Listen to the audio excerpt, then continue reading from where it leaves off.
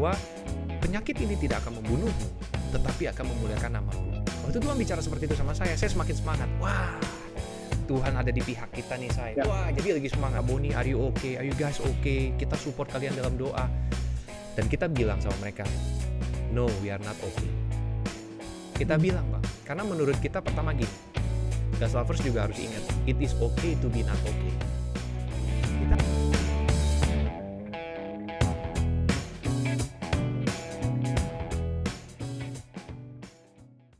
biar cerita soal ibu, peran ibu. Nah, ada sosok yang lain lagi, yaitu Bonita. Hmm. Anda kenal Bonita di mana? Ini mau cerita mungkin jangan ditiru sama gas lovers ya.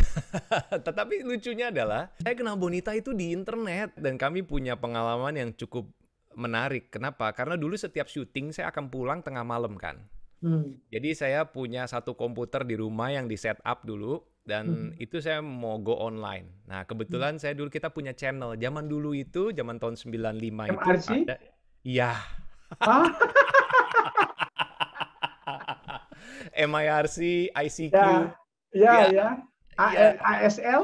Iya ASL, sex location ya betul. ASL, please. Iya ASL please. Nah saya punya nickname nama saya nickname saya adalah Porky dulu Porky. Porky Pig itu loh dari kartun itu. Nah, dan dulu ada anak karena saya mau sekolah, saya pikir saya mau sekolah di Australia. Jadi saya banyak ja- eh, banyak join ke yang eh, channelnya Australia. Anak-anak anak-anak sekolah yang di sana. Jadi banyak ngobrol lah sama mereka di sana. Gitulah kira-kira dan kebetulan Hmm. memang ada sahabat saya di sana juga jadi kita banyak ngobrol. Nah, Oke. dari situ dari perkenalan di situ tiba-tiba satu saat satu hari ada yang ngubungin saya. Hmm.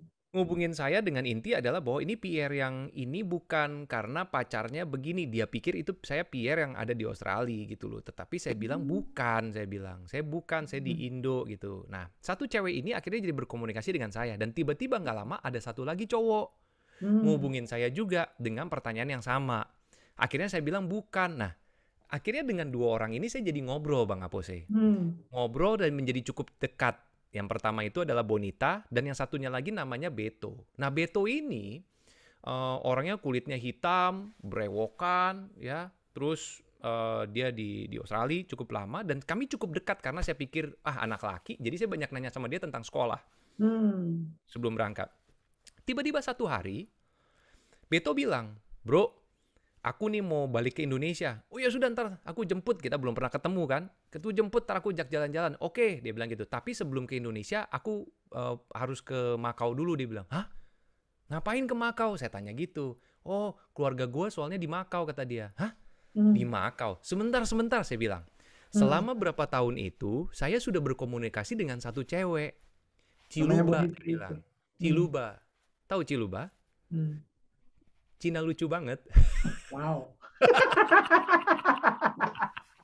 Iya, iya.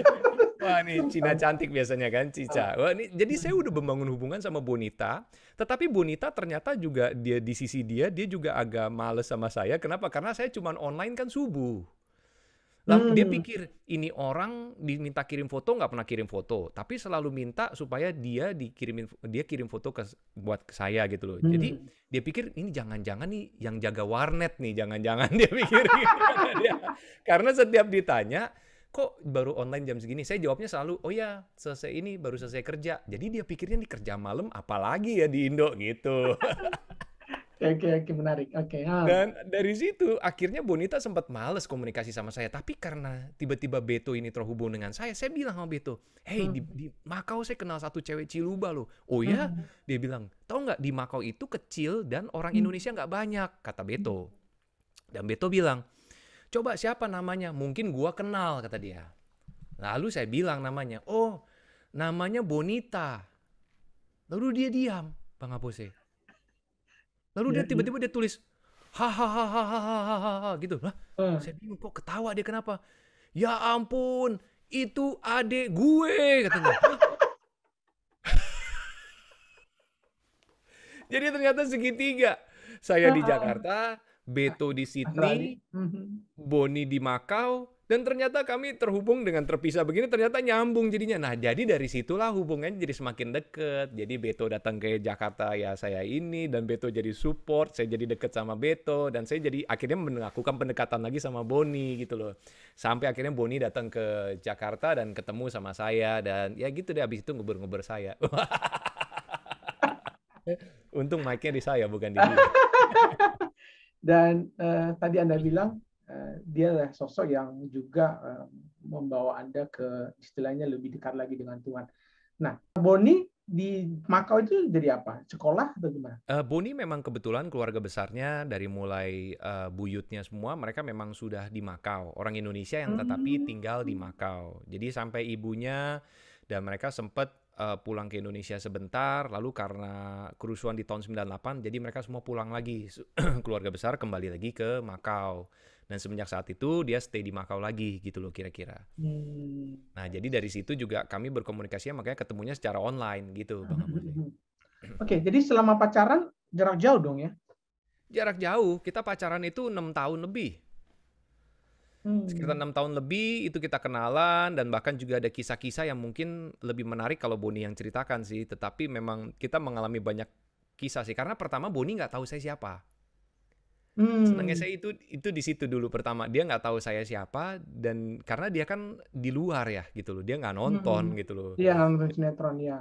Iya dan satu hari waktu dia pulang ke Jakarta hmm. sama mamanya kira-kira dua hari atau tiga hari sebelum dia kembali ke Makau mamanya hmm. bilang eh kamu bukannya suka ngobrol itu dengan satu temen kamu di hmm. online yang di Jakarta. Oh iya kata Boni, tapi udah nggak ada kabarnya.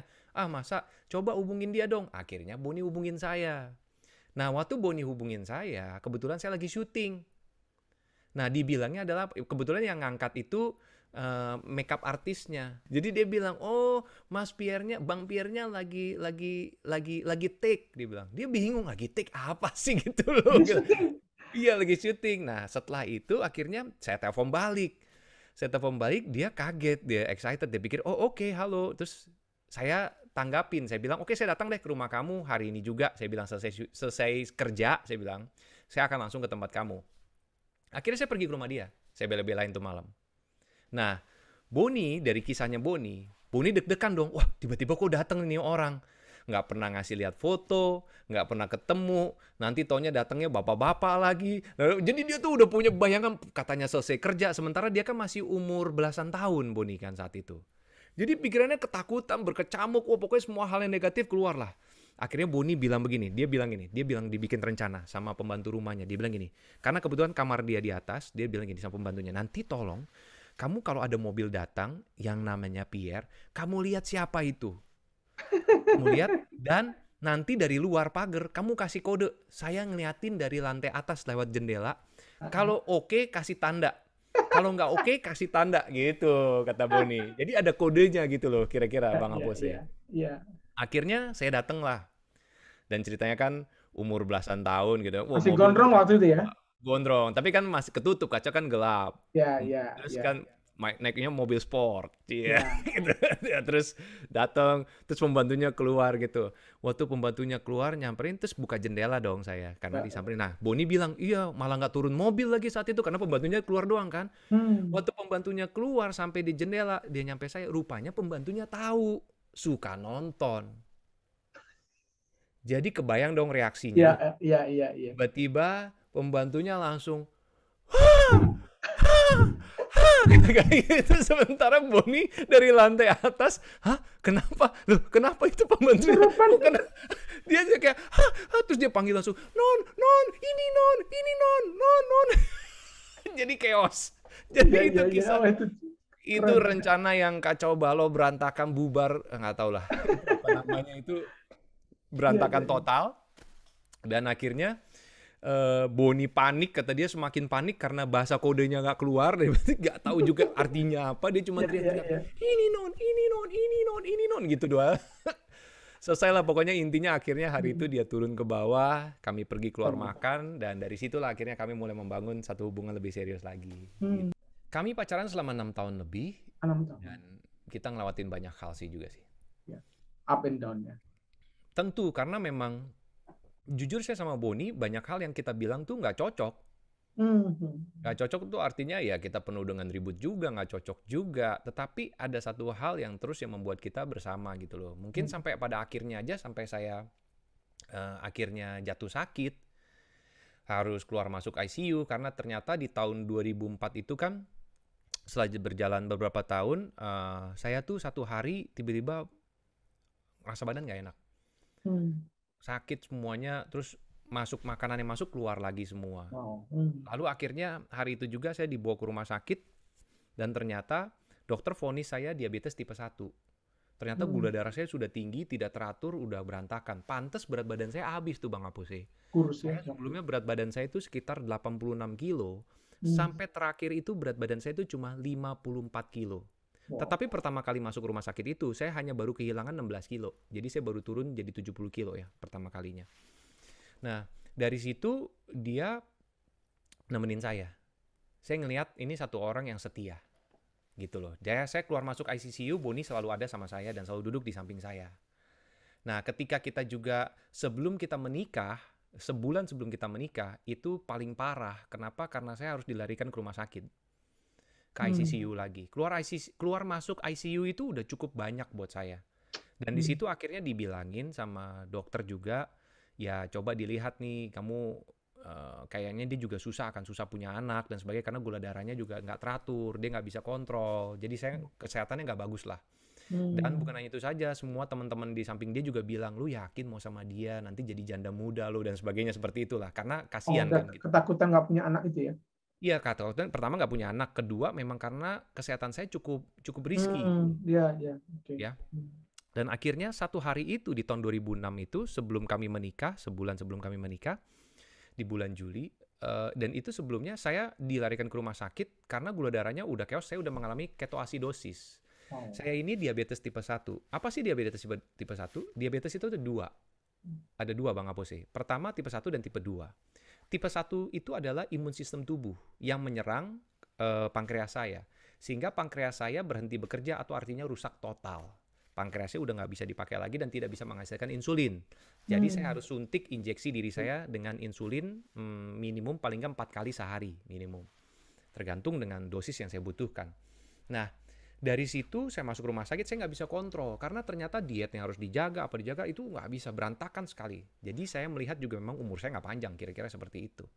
Dan di hari itu waktu saya masuk rumah sakit karena saya udah nggak bisa nafas terjadi yang namanya keti- eh, ketoasidosis. Hmm. yaitu pernafasan yang terblok nih udah ngeblok di atas. Akhirnya dimasukin ruang ICU dalam posisi nggak bisa tidur karena harus duduk eh, nggak karena nggak bisa rebahan nggak bisa nafas jadi harus pakai oksigen Oksigen. pakai wah semua segala macam lah di itu dan dan ternyata saat itu juga saya ngerasa bahwa itu adalah hari terakhir saya nggak tahu kenapa saya ngerasa banget bang Apose bahwa Hmm.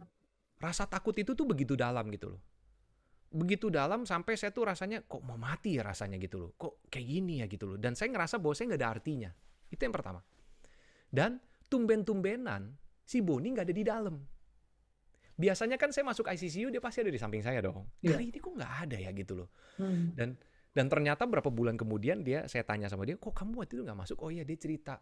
Dia bilang hari itu saya berdoa di luar. Wah saya bangga banget bang Apus waktu dia bilang gitu. Dia bilang kamu berdoa ya? Apa yang kamu doakan? Saya bilang. Hmm. Nah, saya tanya. Terus dia bilang iya saya doa saat itu karena saya lihat kok kayaknya kamu udah keluar masuk rumah sakit, keluar masuk rumah sakit terus gitu loh. Terus Hmm. keadaannya makin parah dan sekarang parah banget. Dan akhirnya saya doa Hmm. saat itu saya bilang sama Tuhan, Tuhan ya udah deh. Aku capek Tuhan. Hmm. Kalau misalnya hari ini Tuhan mau ambil Pierre ya udah silakan Tuhan ambil Pierre aja. Gitu doanya ternyata. Ternyata doanya bukan buat kesembuhan tapi memang buat melepaskan. Ya. Ternyata memang sudah parah banget nemenin saya. Jadi dia memang cukup setia gitu loh. Dan dia merasakan itu di luar, saya rasakan itu di dalam dan ternyata beberapa jam kemudian tiba-tiba di dalam ruangan ICU itu ada empat orang, Bang. Saya di samping saya dan dua orang di depan saya. Tiba-tiba yang di sebelah kanan saya ditutup hordennya, seret. Langsung mulai berdoa. Innalillahi wa innalillahi. Wah, saya kaget. Wah, yang sebelah pergi duluan. Waduh, sementara saya lagi pakai oksigen, nafas saya lagi lagi begitu nafas saya wah saya ngeliat, wah yang sebelah aduh ini gimana ini deg-degan rasanya semakin takut itu ketakutan kekhawatiran wah semua berkecamuk deh dalam pikiran saya Iya. lalu tiba-tiba nggak lama berapa jam kemudian satu lagi yang depan itu gone juga. Lewat Jadi lagi. dua orang dalam satu ruangan yang sama, kebayang nggak bang? Sementara kita lagi surviving. Iya. Dan saat itu saya nggak bilang sama Tuhan, saya nggak bikin, saya nggak bikin nazar, saya nggak berjanji, nggak berikrar juga sama Tuhan bahwa oh Tuhan hari ini juga kalau kau selamatkan aku, aku akan bertobat. Hmm. nggak bilang gitu. Hmm. Aku tahu bahwa aku udah nggak punya chance, aku nggak punya kesempatan. Itu yang dalam Hmm. pikiran aku. Kesempatanku sudah habis. Hmm. Jadi aku bilang sama Tuhan kayak gini, Tuhan, kalau Tuhan mau ambil saya saat ini, jangan saya duluan ya, yang itu duluan. yang, yang nomor Tawar- tiga yang saya duluan. Tawar-tawaran ya. tawar-tawaran. Kan saya nomor empat aja, yang nomor tiga duluan. orang lain enak aja. Tapi waktu saya lihat orang itu ternyata apa? Orang itu udah nggak pakai alat apa-apa, cuma pakai infus. Jadi keadaan dia ternyata lebih baik daripada saya. Dan Aduh. ternyata berapa jam kemudian, Bang, berapa jam kemudian dokter datang. Di luar itu ada tadi Boni calon istri saya, lalu ada mama saya, lalu ada abang saya, dan ada dua orang dari gereja. Jadi berlima dari mereka Hmm. dua, dua orang dari gereja ini adalah yang pemimpin pemuda yang biasa datang ibadah di rumah saya. Lalu itu dokter ini, dokter adalah dokter yang pegang saya dari awal. Jadi dia sudah pegang saya dua tahun, sangat sayang sama saya, seorang ibu-ibu yang luar biasa, Hmm. sekarang sudah almarhum. Dan dia datang ke keluarga, dia katakan gini, saat ini juga kita harus melakukan operasi sama Pierre, harus dilobangin di leher. Karena untuk pernafasannya. Hmm. Karena dia udah keblok, jadi harus diteruskan langsung. Ya, di, di- dilangsungkan. Wah, saat itu juga panik kan, butuh tanda tangan keluarga. Iya. Kakak saya bilang, dok kalau misalnya dioperasi di leher, gula Hmm. darahnya lagi begini, apakah dia akan cacat seumur hidup? Mengganggu Hmm. pita suaranya nggak sebagai dan lainnya? Hmm. Dokternya bilang kemungkinan besar iya. Oh. Wah, kakak saya dilema, dilema, dia bilang, waduh gimana gimana. Akhirnya mereka, mama saya bilang sama teman-teman itu gereja dan mereka bilang kita berdoa dulu. Dan akhirnya bilang, dok kita berdoa dulu. Dokternya bilang nggak bisa, harus eh, dilakukan sekarang karena keadaannya Pierre kritis. Kritis. Kalau saya tidak sekarang saat ini juga lakukan tindakan sama Pierre, kita akan kehilangan dia. Itu yang dibilang sama dokternya. Jadi artinya saya ngerasa di dalam itu udah hari terakhir saya, Boni ngerasa bahwa itu udah hari terakhir saya, dan ternyata dokter juga bilang dalam keadaan kritis. Jadi dalam tiga hal secara medis juga kayak begitu. Konfirmasi. Iya, konfirmasi mereka berdoa. Setelah mereka berdoa bilang, dok kasih kami waktu berdoa. Setelah berdoa mereka bilang, jangan dioperasi. Wah, Hmm. kaget dokternya marah. Karena dia sayang sama saya. Dia bilang, nggak bisa, saya harus operasi. Jangan dok, kita udah berdoa, jangan. Oke, Hmm. dokternya bilang, kalau keluarga memang bilang begitu, ya sudah Hmm. silakan. Saya coba lakukan tindakan yang lain dok. Baik, asal keluarga tahu bahwa saya sudah serahkan sama keluarga lagi. Hmm. Ya sudah, akhirnya tengah pagi, Boni dibangunin, keluarga Pierre. Waktu dia Hmm. bangun, pemikiran dia cuma satu. Dia akan hanya ngeliat tubuhnya Pierre, itu aja. Hmm. Itu pikiran dia. Oh. Dia jalan ke ruang ICU. Waktu dia lihat di kacanya yang kecil itu, dia lihat ke dalam. Ternyata apa tau nggak? Itu jam 7 pagi. Ternyata keadaan saya udah baik. Sudah normal. Kayak nggak kejadian apa-apa. Dan jam 10 pagi saya udah masuk kamar normal.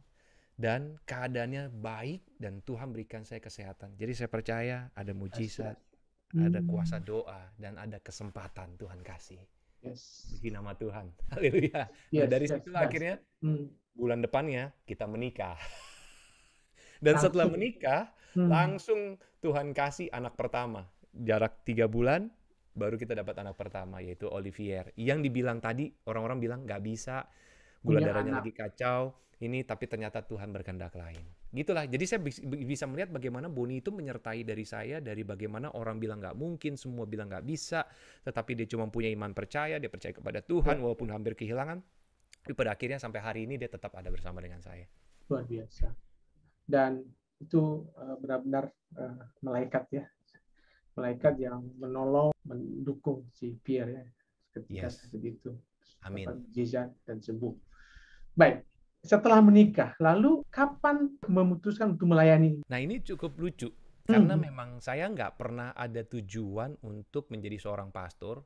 Mhm. Saya nggak pernah ada niatan untuk sekolah teologi dan sebagainya berhubungan Hmm. itu. Tapi untuk menjadi seorang eh, yang bersungguh-sungguh dalam lah. Tuhan, Ya. ya oke lah ya. Jadi orang Kristen lah kira-kira gitu. Ya. Ya. Nah, eh, apa yang terjadi adalah saya ngelewatin satu masa di mana saya itu eh, waktu uh, punya anak yang pertama, itu kan sebuah mujizat. Hmm. Saya lihat kebaikan Tuhan. Iya. Lalu kedua, kesempatan. Tuhan kasih saya nyawa. Iya. Lalu saya ketemu dengan beberapa hamba Tuhan yang berasal dari uh, negara lain. Mereka mulai kasih nubuatan sama saya. Hmm. Dan bicara tentang masa depan, tentang bagaimana Tuhan melakukan pekerjaan yang besar, melayani Tuhan dan sebagainya. Tapi saya nggak begitu tanggap. Dan berjalannya waktu, akhirnya di tahun 2009, ketika kami udah balik lagi di Indonesia, keadaan baik, pekerjaan saya, bisnis usaha saya juga jalan dengan lancar-lancar saja. Lalu kami mulai semakin sungguh-sungguh di dalam Tuhan. Tuhan Mhm. kirimkan satu hamba Tuhan ini. Hamba Tuhan ini sebenarnya dia hanya seorang uh, uh, seorang pelayan Tuhan, seorang pendeta, namanya Pak Yohanes Sayers. Dia melayani juga di dulu di di gerejanya Paniko juga di di mana di Hilton JHCC bahkan juga di Senayan City. Yang Dan almarhum itu ya? Yang almarhum. Almarhum. ya? Betul almarhum. Saya kenal. Oh kenal juga beliau. Oke. Nah beliau ngajakin, "Eh, Pierre, doa yuk di rumah, bangun menara doa yuk, gitu loh. Hah? Ya udah om, boleh om. Kapan aja mau main ke rumah boleh. Ah, akhirnya ternyata beliaulah yang setia datang ke rumah hampir setiap hari. Dari hanya cuma ketemu, dari cuma doa sedikit, malah sampai akhirnya equipping, sampai akhirnya belajar teologi, sampai akhirnya kita punya papan tulis khusus, punya ruangan tempat belajar khusus, dan yang di-equip tuh saya sama istri. Dan lucunya adalah apa? Kadang-kadang saya pulang kerja capek udah ya, baru sampai rumah, rumahnya dia kan gak jauh dari saya. Tiba-tiba dia datang ke rumah saya naik motor, nih terus datang, Pierre, udah sampai rumah, yuk mau belajar lagi nggak? Dan lucunya adalah apa? Nggak ada penolakan loh dari saya sama Boni. Saya sama Boni tuh kayak maksudnya kayak gini, aduh capek nih, aduh kelas lagi, aduh belajar Alkitab lagi, ngapain sih gitu. Tapi kami ada api karena kami tadi mengalami kasih mula-mula, kami melihat kebaikan Tuhan. Jadi kami semangat dan dia menuntun kami untuk belajar selama satu tahun lebih itu dan sampai di titik pada akhir satu hari, satu hari ternyata dia dipanggil untuk melayani di Hong Kong waktu itu. Dan dia nggak berani ngomong sama kita. Nggak berani ngomong sama saya sama Boni. Kenapa? Karena kan dia lagi membangun menara sama kita, lagi ngajarin Ya. kita. Nanti harus ninggalin gimana rasanya gitu loh. Ya, ya, Dia ada lagi bingung. enak ya. Betul, dia lagi bingung gimana ya, apakah dia pergi atau enggak. Akhirnya di hari yang sama itu tiba-tiba kami terima telepon bahwa anak kami Olivier yang masih kecil itu dipanggil pulang oleh pemerintah Makau.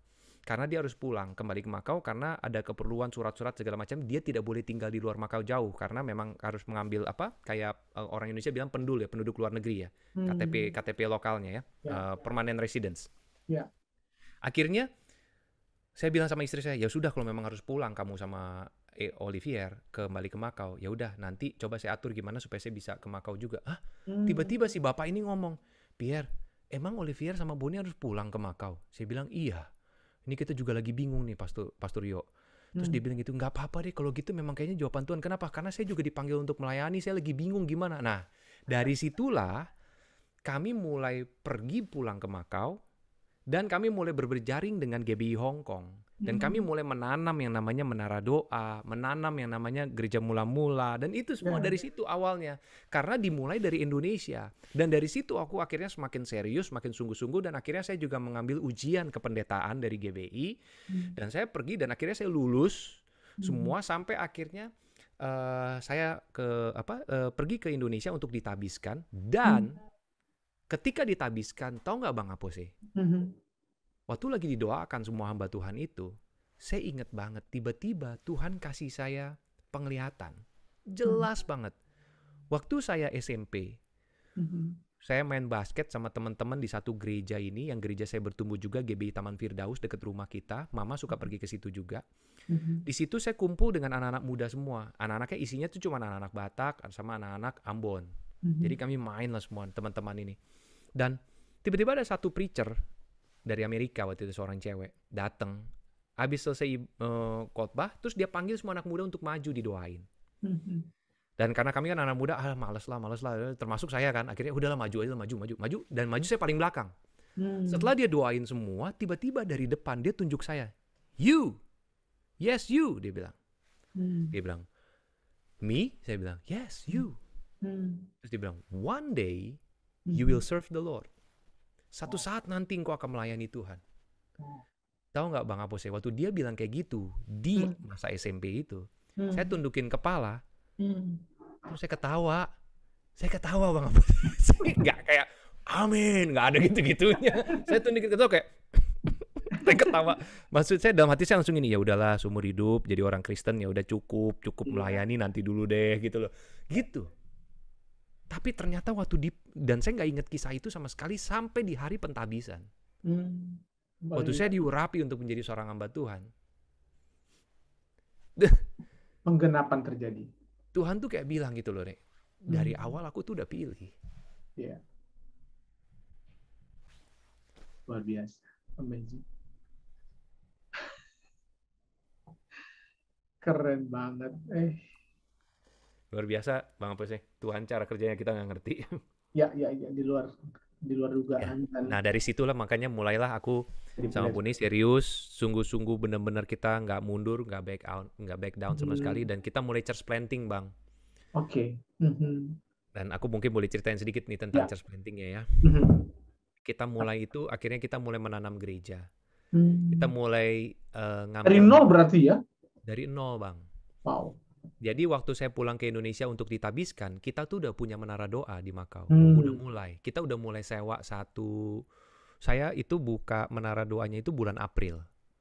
Bulan April kita buka jadi menara doa. Kita doa cuma saya sama istri, sama si Hmm. Pastor Yohanes kalau datang dari Hmm. dari Hong Kong. Dia beliau nabur buat tempat itu.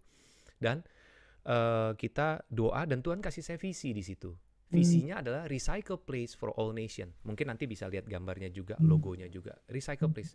Kalau Bang Apose ingat sama teman-teman God's lovers tahu, eh, recycle itu kan logonya kan panah ke bawah, ke samping, ke atas gitu ya. Nah, di situ tuh Tuhan bicara lewat lambang itu. Dikasih Hmm. visi itu sama saya kayak gini.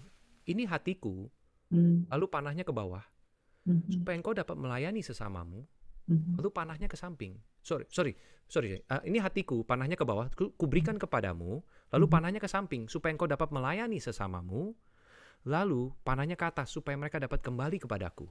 Artinya hatinya Tuhan diberikan kepada kami, supaya kami dapat melayani sesama kami, dan supaya mereka dapat kembali kepada Tuhan. Simple banget.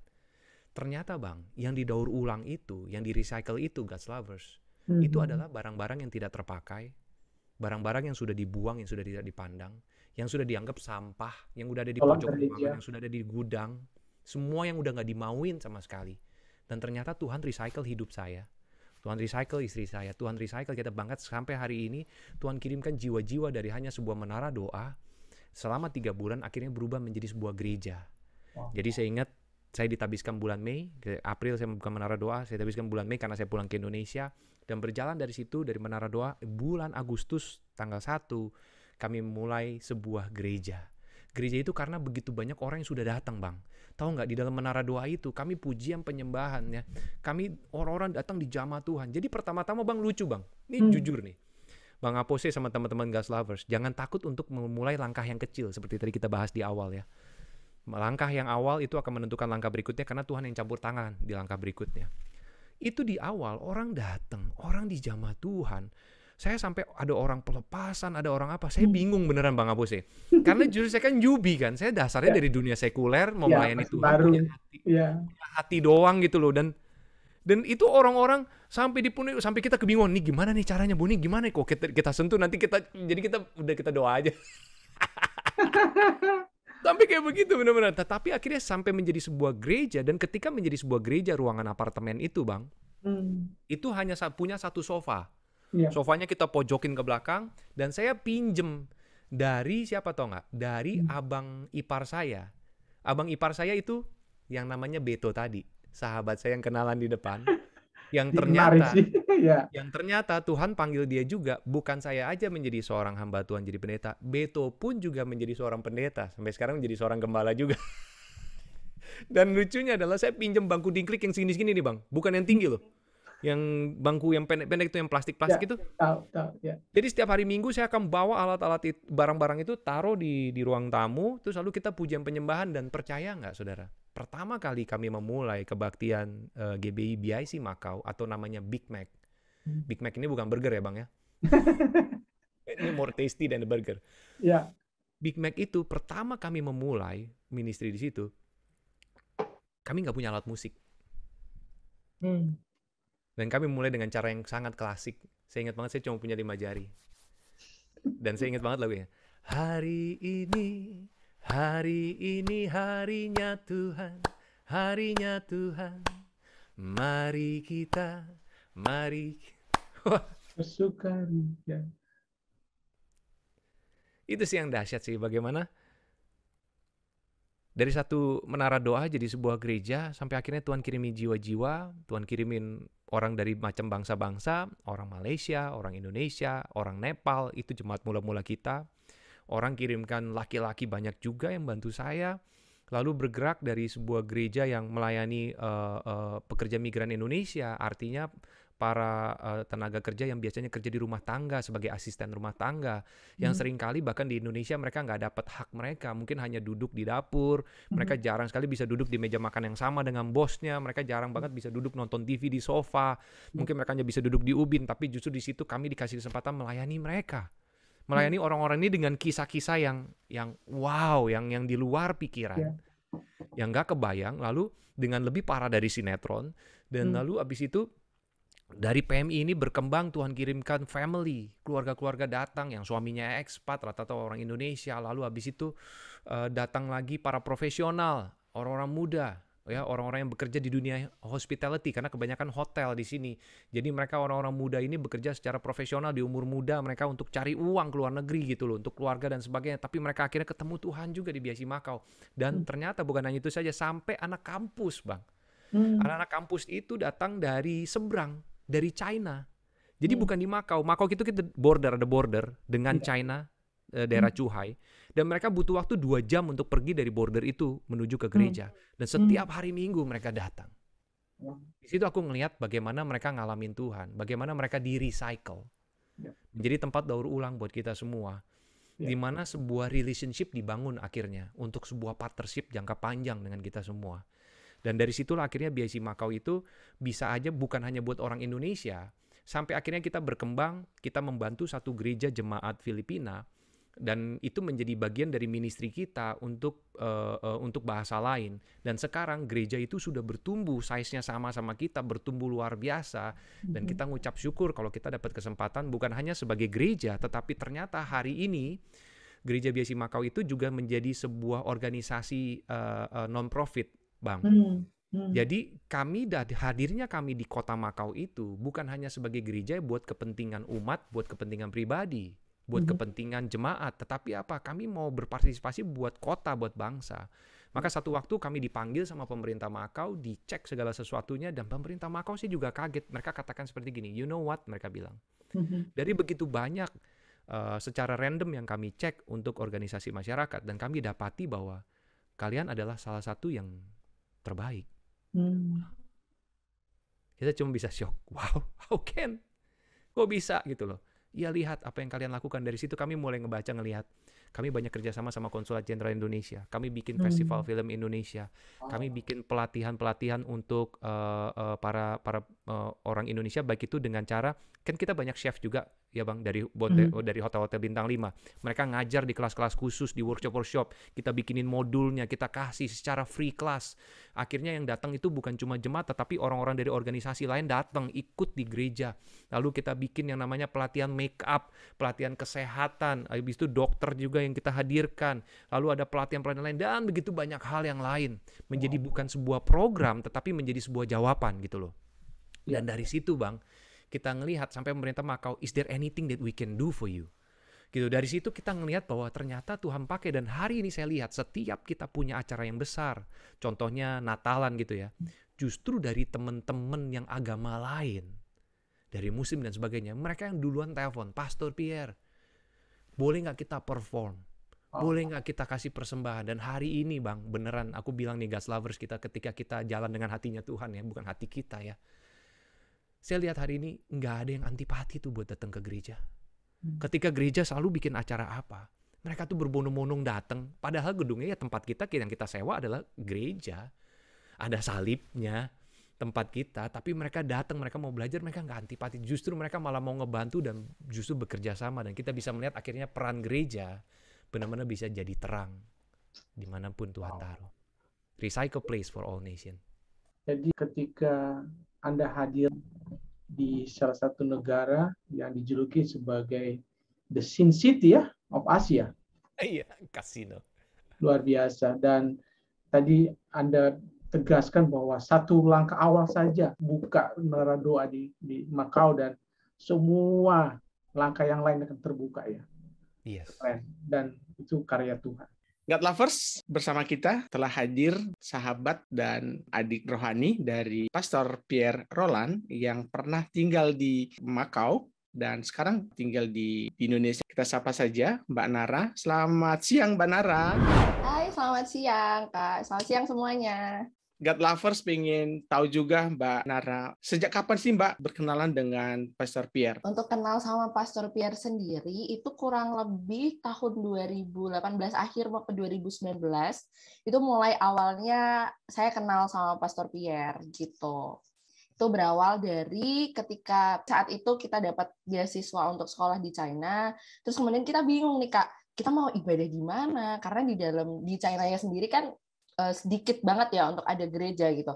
Jadi kita doa, kita berdoa sama Tuhan terus kita Tuhan pengen nih kita minta satu gereja dong untuk kita bisa bertumbuh di sana. Terus akhirnya kita doa dan Tuhan bukakan jalan. Saat itu lewat medsos kalau nggak salah kak. Kalau nggak salah ingat kita lewat medsos kita uh, akhirnya nemu pelayanan tempat Pastor Pierre ini. Ini kita datang ke sana kita ke Makau kak.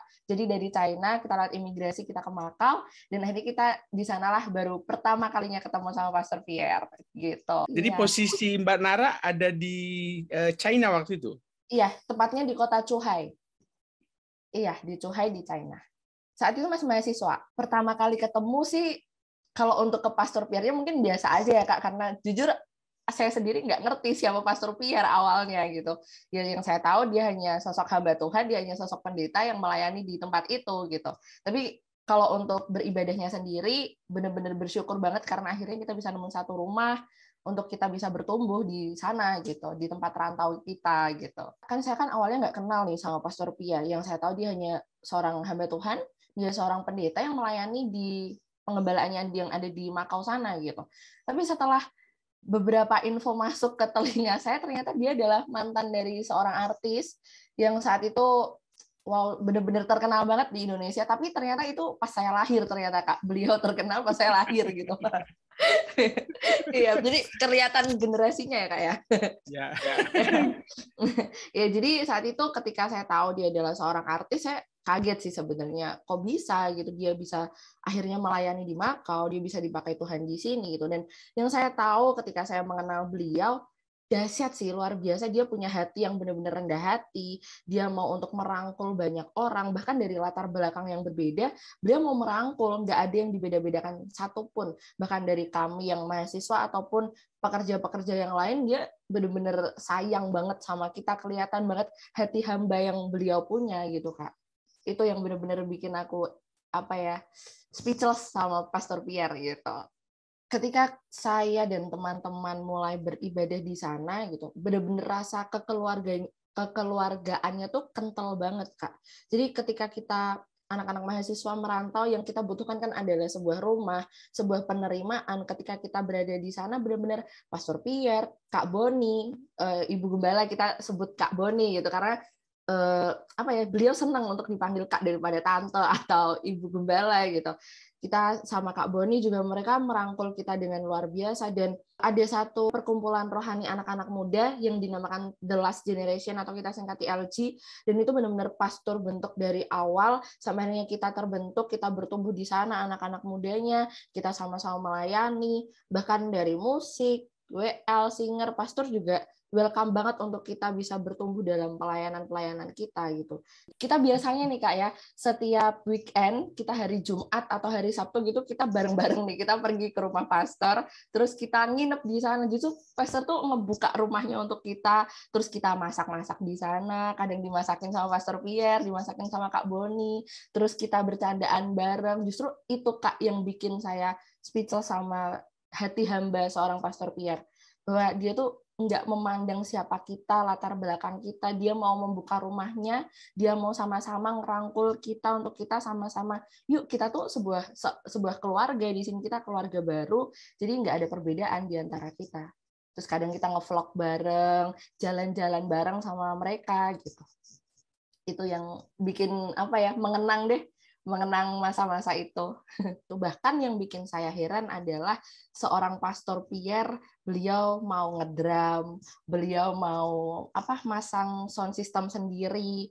Bahkan yang itu harusnya yang dilakuin sama orang lain, tapi beliau mau merendahkan hatinya untuk dia melayani hal sekecil apa pun, dia mau layani, dan itu justru menjadi sebuah contoh buat kita gitu, anak-anak muda juga, bahwa ketika kita udah ada di atas gitu, kita nggak perlu yang harus wow banget kayak bosi banget atau gimana tapi kita justru ketika kita merendah Tuhan melihat hati kita Tuhan melihat isi hati kita dan itu justru malah jadi berkat juga buat banyak orang itu sih satu hal kecil yang yang aku iniin sampai sekarang, yang aku tanam sampai sekarang gitu. Mbak Nara, sekarang kan sudah jauh dari Makau. Eh, bagaimana komunikasi Anda selain tadi ada The Last, Generation? Generation? Iya. Kalau sama Pastor Pierre dan Kak Boni sendiri, kami masih sering-sering kontak-kontakan sih Kak. Jadi kemarin kami juga sempat uh, telepon-teleponan, nanyain kabar gitu kan di Makau seperti apa, pandemi di sana seperti apa gitu dan Pastor Pierre dan Kak Boni dan teman-teman pelayanan juga punya sebuah praise and worship namanya. Jadi setiap malam kita adakan praise and worship night setiap hari Selasa, Kamis, dan Sabtu jam 10 malam lewat Zoom.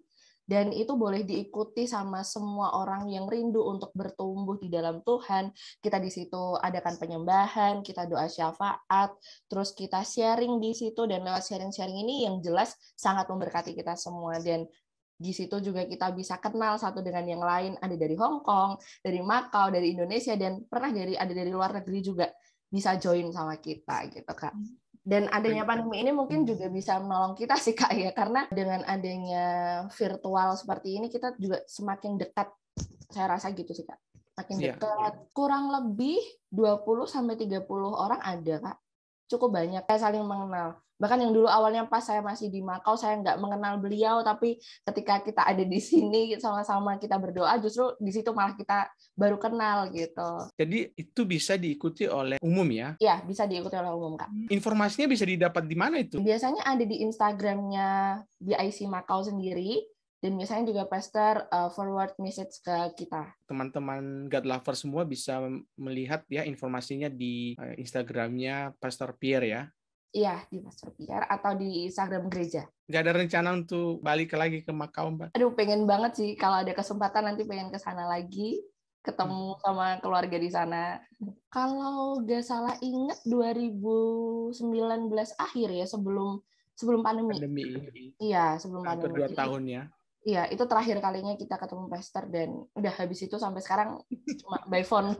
Oke, terakhir Mbak Nara, apa pesan khusus untuk Pastor Pierre buat Kak Boni? Iya, Pastor Pierre, Kak Boni, sebelumnya saya ngucapin terima kasih sekali buat Pastor Pierre, buat Kak Boni, dan semua keluarga biasa Makau juga udah support kita terus untuk terus bertumbuh di dalam iman bahkan sampai sekarang yang kita nggak bisa ketemu face to face tapi tetap di dukung terus, tetap disupport terus secara iman, secara rohani.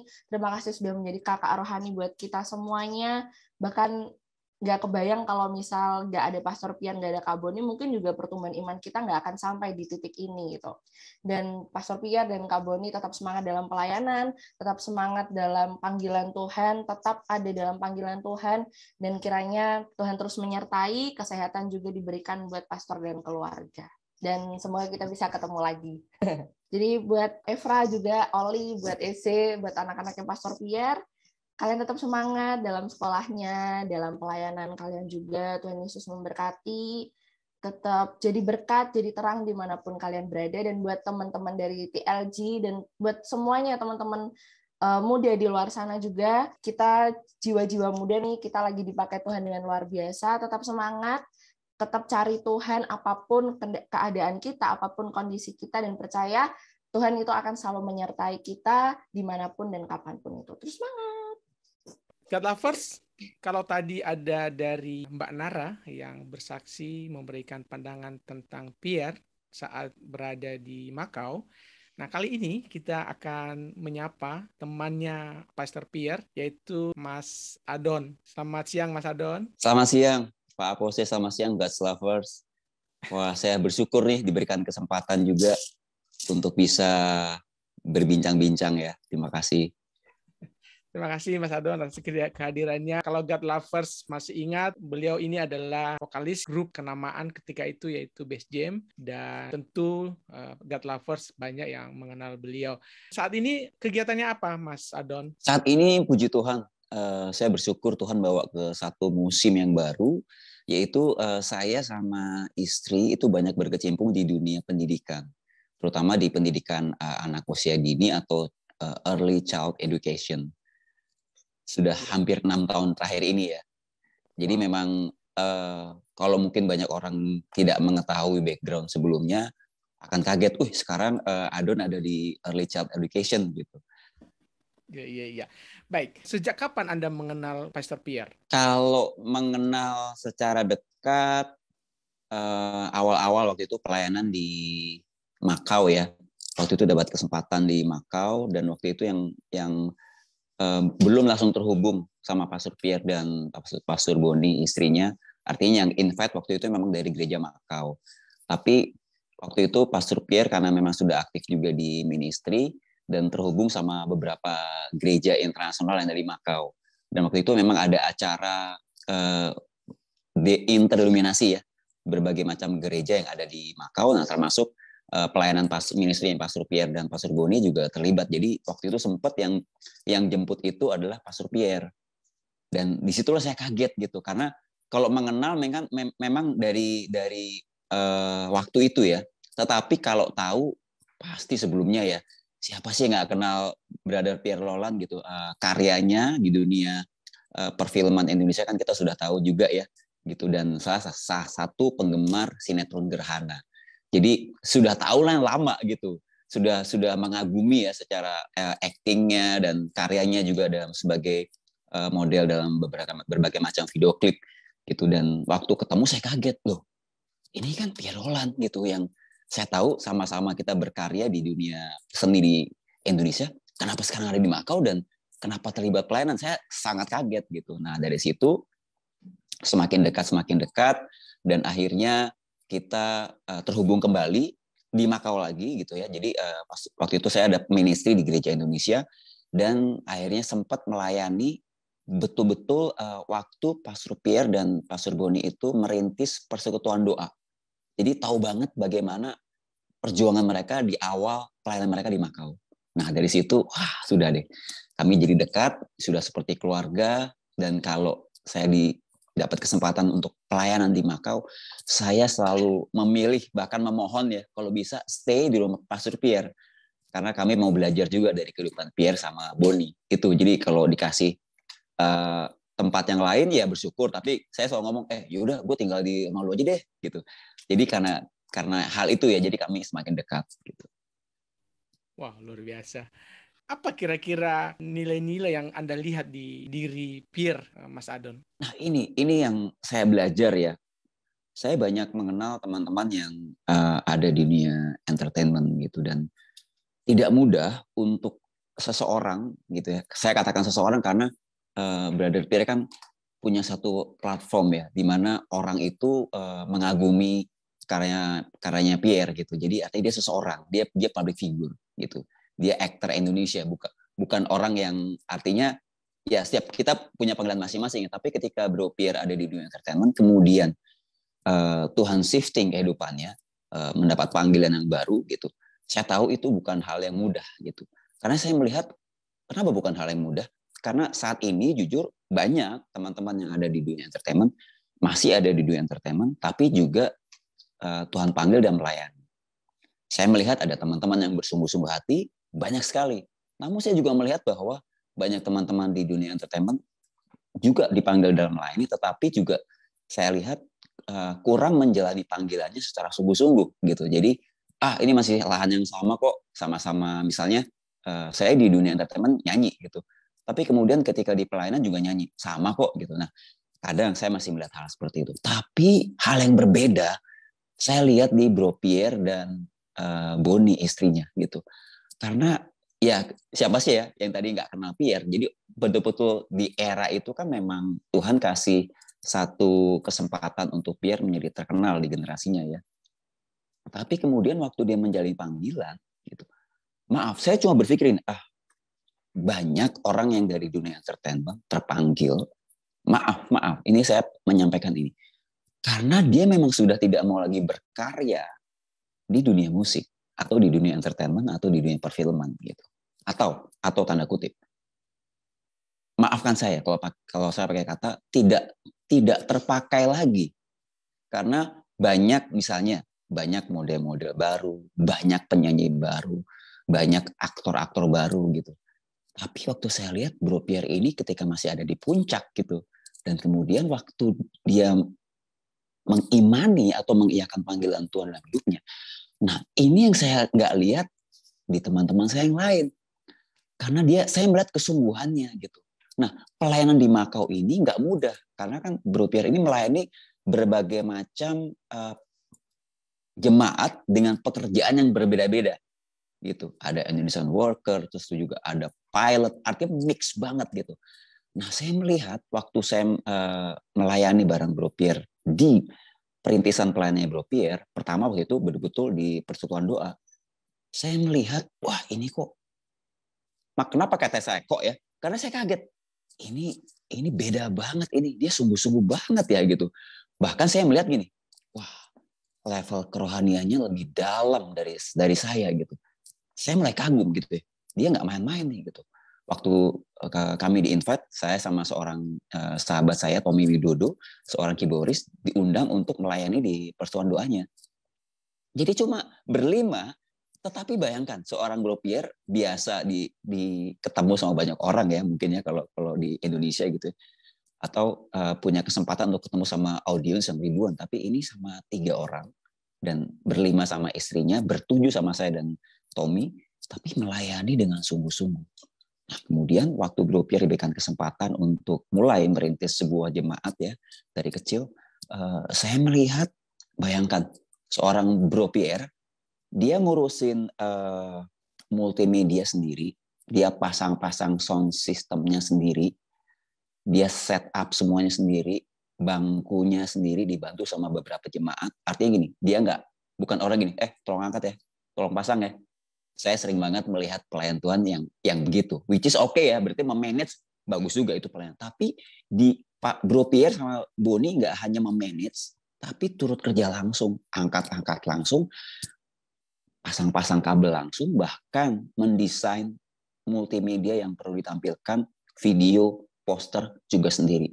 Jadi tiba-tiba ketika uh, saya waktu itu pelayanan ke sana, uh, Sabtu malam itu masih sampai jam satu malam, saya udah mau istirahat, dia masih di depan uh, laptop mengerjakan sesuatu sih. Bro, ngapain bro? Besok kan pelayanan bro.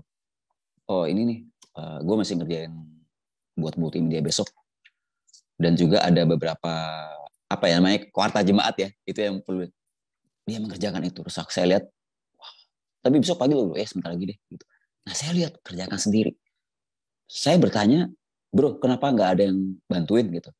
Sampai saat ini karena baru ya, jadi uh, saya memang lagi lagi lagi uh, membangun untuk uh, teman-teman jemaat bisa melayani di desain tapi belum belum bertemu sama orang-orang yang yang bisa untuk handle itu. Jadi selama belum ada jemaat yang bisa melayani di situ, Bro Pierre handle. Pagi-pagi udah bangun gitu, uh, saya sama istri udah siapin sarapan, kita sama-sama berangkat ke pelayanan. Saya pikir waktu itu adalah oh udah di set up semuanya nih, karena kan pelayanan itu siang di sana ya. Jadi kita datang lebih awal, bro datang lebih awal ya, karena nanti ada doa bareng gitu. Saya biasanya paling cepat itu kalau mau pelayanan satu jam atau satu setengah jam. Biasanya kalau di Indonesia saya kan saya, perlu pasang mikrofon, terus uh, sound check gitu. Ini ini kayak empat jam sebelumnya udah ke gereja gitu ya. Itu sebenarnya, aduh sebenarnya aku bisa tidur lebih lebih lama nih. Tapi karena karena dijadwalkan seperti itu ya udah saya ikut gitu.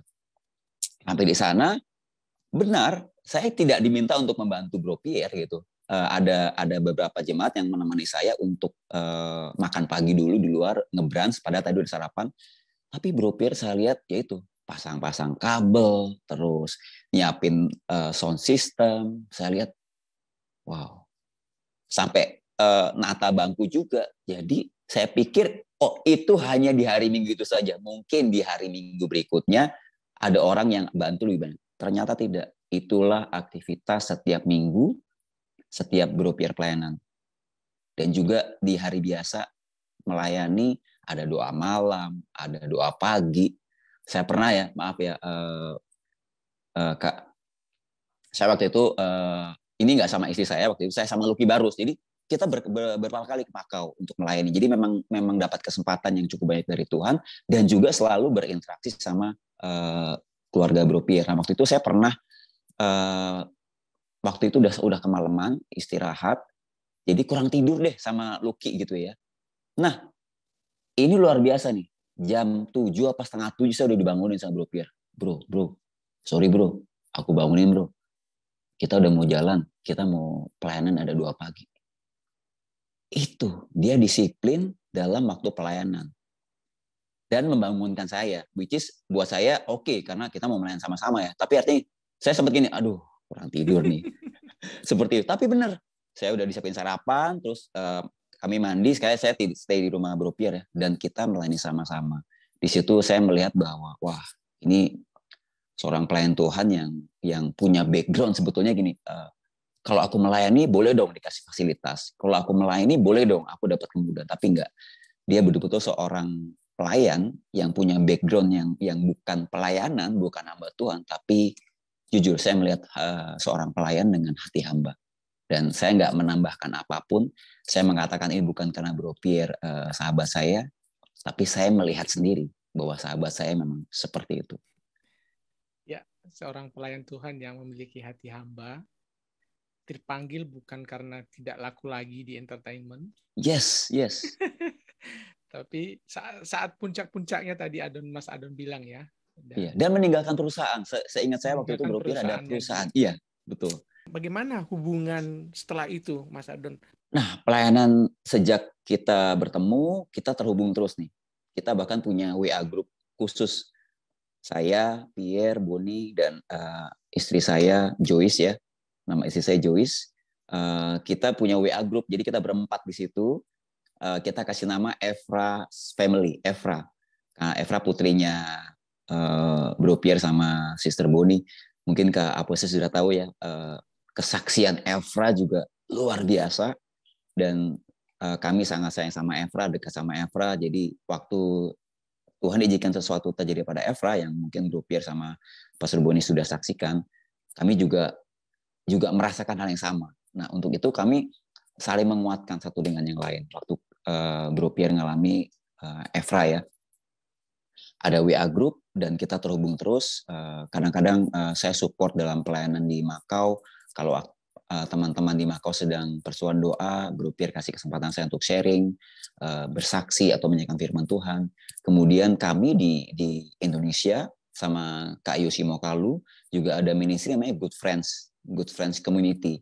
Nah, sering sekali Bro Pierre juga membagikan firman Tuhan, memberikan encouraging buat kami teman-teman di Good Friends Community. Good Friends Community ada teman-teman di dunia entertainment, di dunia seni Indonesia. Itu satu komunitas. Nah, Bro Pierre terhubung.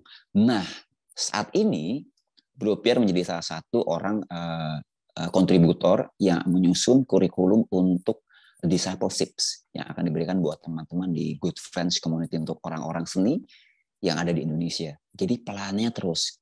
Bahkan setiap hari ini kami suka WA, teleponan, voice note, video call. Pokoknya Pierre suka gangguin saya, saya suka gangguin Pierre. Dan hal yang luar biasa, eh, Oktober 2017, saya mengalami satu titik terendah dalam kehidupan saya. Saya sudah Tuhan panggil pelayanan dari tahun 2000 dalam dunia uh, pelayanan praise and worship dan pelayanan firman. Dan BSC itu tahun 94 ya, sampai uh, tahun 2019 saya akhirnya singkat cerita saya mengalami satu musim baru di mana saya pun harus mengakhiri dunia bermusik. Nah, tahun 2017 sampai saat ini orang yang terdekat, orang yang merupakan support system saya dan Joyce selalu mengencourage kami dengan kata-kata iman, firman Tuhan, doa, perhatian. Itu adalah Bro Pierre dan Sister Bonnie. Jadi kami saling menguatkan dan waktu saya down, Bro Pierre yang betul-betul Tuhan pakai untuk menguatkan saya. Salah satunya selain uh, mentor-mentor rohani dan papa rohani saya. Ya. Kurang lebih itu Kak Apose. Luar biasa ya. Tidak hanya sekedar uh, satu tubuh Kristus tapi uh, sudah seperti saudara kandung ya, sudah jadi Betul. Betul. Nah, ada ada hal yang lucu nih Kak Apose. Waktu itu ya. eh, karena saya juga dekat sama putra dan putrinya Bro Pierre, jadi sering ke Makau kan. Dari Evra masih kecil gitu, Evra masih umur mungkin satu setengah dua tahun sampai sampai sekarang kita uh, semakin dekat. Evra sering kalau di sana tuh sering minta digendong sama saya sama istri gitu ya. Terus Evra tuh panggil saya uh, Daddy gitu saat itu gitu. Dibilang pakai bahasa Inggris ya waktu itu ya. Uh, saya punya dua ayah katanya waktu saya gendong. Ada videonya saya pernah upload di Instagram. Saya punya dua ayah. Satu yang ada di Indonesia yaitu uh, Uncle Adon. Satu lagi yang ada di Makau yaitu papanya. Nah itu dia mengatakan itu dan itu uh, menyentuh hati saya ya. Jadi sedekat itu sampai Evra menganggap kami uh, bukan hanya orang lain, tapi bukan hanya angkelnya, bukan hanya omnya, tapi juga uh, dedinya. Jadi kurang lebih kedekatan seperti itu. Mungkin saya selalu bilang gini sama sama, sama Pierre, uh, bro, kita ini kayak orang kembar ya, gitu. Saya sengaja bilang kembar supaya dapat gantengnya Bro Pierre juga, gitu. Saya bilang gini, bedanya cuma gini bro, kita sama-sama ganteng, bro putih, gue lebih gelap kulitnya. Coba itu aja. yes. Gue setuju dah. ah, terima kasih, terima kasih. Ya, terakhir Mas Adon. Ya. Apa pesan buat Pierre, buat uh, Mbak Bonita, buat anak-anak?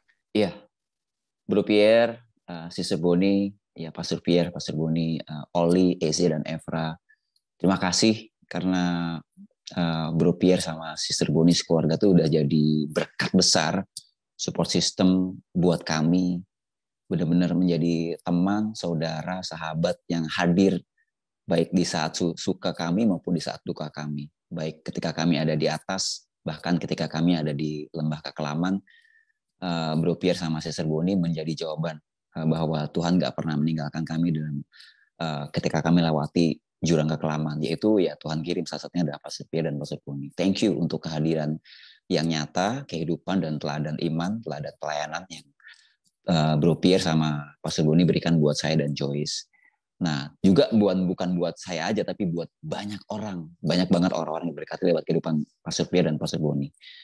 Pesan, saran dari dari kami, saya dan Joyce adalah uh, ke depan pasti akan banyak pelayanan yang jauh lebih besar yang Tuhan percayakan, jauh lebih masif, jauh lebih berdampak yang Tuhan percayakan untuk Bro Pierre sama Pastor Boni. Tetapi percayalah mungkin juga akan ada jalan yang berliku-liku, jalan yang tidak mudah, jalan yang uh, jalan yang keras. Percayalah uh, seperti yang Bro sama Sister Boni selalu kuatkan aku dan Joyce dalam setiap peristiwa yang Tuhan izinkan, kondisi yang Tuhan izinkan, tetap selalu ada penyertaan Tuhan. Tetap akan selalu ada jalan keluar dan damai sejahtera yang Tuhan berikan. Jadi maju terus, terus jadi berkat, terus jadi impact, terus jadi jawaban dan aku percaya banget tidak hanya Makau, tidak hanya Indonesia yang diberkati, tapi seperti saat ini yang Bro Pierre dan Pastor Boni sudah Tuhan bawa yaitu menjadi berkat bagi bangsa-bangsa.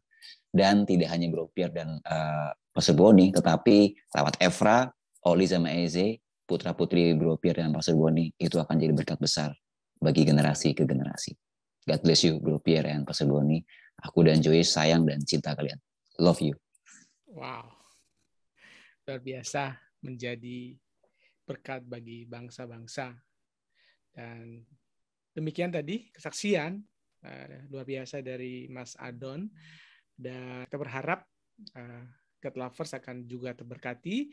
Nanti pada waktunya akan kami hadirkan Adon di Diaspora TV Talk Show. Terima kasih Mas Adon, sampai ketemu. Terima kasih Kak Apose, Ibu Evi dan Diaspora. Nanti Adon Sabto akan senang banget kalau dapat kesempatan itu bisa berbagi apa yang Tuhan percayakan, Tuhan lakukan dan berkarya dalam dalam kehidupan setiap kita ya. Saya percaya juga Gas Lover punya banyak kesaksian yang kita bisa belajar sama-sama. Thank you Kak Apo sih. Thank you so much. Thank you, thank you. Saya percaya saya sempat nanya Tuhan, Bang. mungkin teman-teman juga punya pemikiran yang berasal dari dunia sekuler atau yang mungkin juga sudah serius di dalam bisnis usaha pekerjaannya masing-masing. Mereka mau membantu Tuhan, tapi mungkin mereka berpikir saya cuma ngebantu gereja. Pertama kali dulu saya pikir saya kayak gitu. Hmm. Saya akan ngebantu gereja, ngebantu Tuhan. Tapi setelah berjalan waktu dan setelah saya melihat begitu banyak pekerjaan Tuhan yang dahsyat, saya ngerti. Ternyata bukan saya ngebantu gereja, tapi sebenarnya Tuhan lagi bantu saya. Tuhan lagi ngebantu saya keluar dari pemikiran saya yang lama, paradigma saya yang lama, cara pikir saya yang lama, masuk dalam satu pengertian yang baru. Hmm. Bahwa bersama dengan Tuhan itu rancangan Tuhan, rancangan penuh damai sejahtera bukan kecelakaan, bahwa Tuhan tuh udah punya planning jauh lebih keren daripada kita gitu loh. Hmm. Dan akhirnya Bang, aku pikir pertama gini, Tuhan sempet di dalam beberapa tahun awal itu aku pikir, terus selama ini aku ngapain ya Tuhan di dunia entertainment? Hmm. Aku ngapain ya serius-serius kerja dulu? Kayaknya kok jadi sia-sia ya hidupku yang lama. Aku pernah punya pikiran kayak gitu Bang. Hmm. Kok kayaknya kayaknya sia-sia ya? Tapi Tuhan kayak ngingetin enggak, justru gini loh. Waktu kamu masuk ke dalam dunia itu, Tuhan membiarkan kita masuk terkenal, menjadi orang yang terketahui. Karena supaya mudah sekarang untuk menyampaikan apa yang kita sampaikan. Kedua, determinasi atau kesetiaan atau fokus yang saya biasa lakukan dulu untuk satu hal. Nah justru itu yang hari ini dibutuhkan sama Tu- Tuhan untuk anak-anaknya Tuhan. Hmm. Sesuatu yang committed gitu loh, bukan setengah-setengah hati. Ya. Lalu apalagi berikutnya lagi, bukan hanya itu saja. Tuhan ngajarin Tuhan bukain saya kesempatan untuk ke ke gereja pusat kita yang yang waktu lalu ya. Karena sekarang mulai tahun ini kita udah otonom lagi, Bang.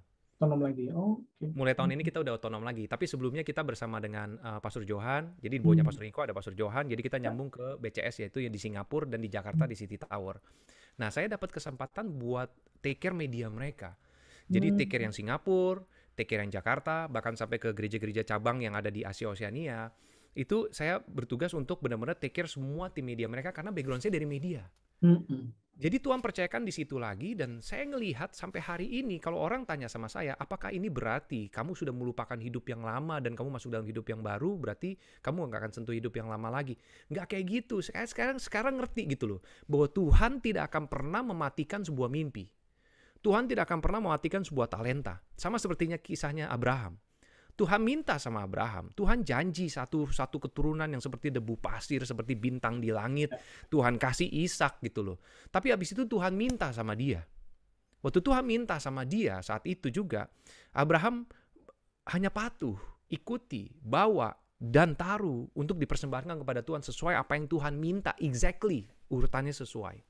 Tetapi waktu dia naik ke atas gunungnya Tuhan, itu dia terhindar dari begitu banyak crowd, begitu banyak orang, begitu banyak out of focus yang bisa bisa apa bisa menghantui dia. Tapi dia naik ke atas titik yang paling tinggi, dia ketemu sama Tuhan di situ, di tempat dia seharusnya mempersembahkan yang terbaik kepada Tuhan. Dan ternyata di titik itu ketika cuma dia sama Tuhan dan anaknya yaitu persembahannya, justru saat itu juga Tuhan bilang sama dia apa? Abraham, Abraham, kini aku tahu hatimu. Jangan bunuh anakmu. Di situ aku tangkap banget. Jangan bunuh masa depanmu. Jangan bunuh mimpimu. Jangan bunuh talentamu. Jangan bunuh apa yang Tuhan udah tanamkan dalam hidupmu. Tapi lihatlah, aku sudah menyediakan. Lihat di belakangmu. Itu yang Tuhan siapin. Domba yang tersangkut itu, itu yang akan dipersembahkan. Dan akhirnya Ishak menjadi keturunan atas segala bangsa termasuk kita, keturunan orang percaya. Nah hari ini aku juga mau bilang sama kita semua bahwa hari ini aku mempertajam karena Tuhan punya begitu banyak hal yang ditanamkan kembali kepada aku tentang media gitu, dunia, dunia media. Dan hari ini aku lagi aktif lagi di dalam kegiatan yang berhubungan dengan dunia media, baik itu secara profit maupun non profit, mensupport gereja-gereja dan sebagainya, ngajarin apa segala. Karena aku percaya satu hal bahwa ketika kita punya sesuatu yang berharga dalam hidup kita dan Tuhan udah build itu, udah tanam itu menjadi sesuatu yang precious. Itu tidak akan hanya hilang begitu saja. Tapi justru engkau diperbarui hari ini, aku diperbarui hari ini. Cara pikirku, cara memandangku, caraku bekerja, caraku memahami segala sesuatu diperbaiki. Supaya apa? Supaya sesuatu yang berharga tersebut yang dikatakan dengan berlian di dalam hidup kita, itu bisa menjadi sesuatu yang berharga dan luar biasa buat banyak orang. Luar biasa. Tuhan eh, menaruh Anda di, di Makau melayani bangsa-bangsa. Luar biasa. Ada tantangan nggak selama ini, eh, Pierre, yang dihadapi? Banyak bang. Pasti. Banyaknya, banyaknya pertama gini, eh kalau saya ceritain dari sisi keluarga, Hmm. dari sisi profesionalisme, dari sisi organisasi, dari sisi kehidupan, wah itu banyak banget. Saya bisa bilang sampai hari ini itu kasih karunia Tuhan. Ya. Kenapa? Kalau saya mau sejajarkan kehidupan saya dengan ketenaran, keberhasilan Hmm. zaman dulu segala macam, sekarang totally different.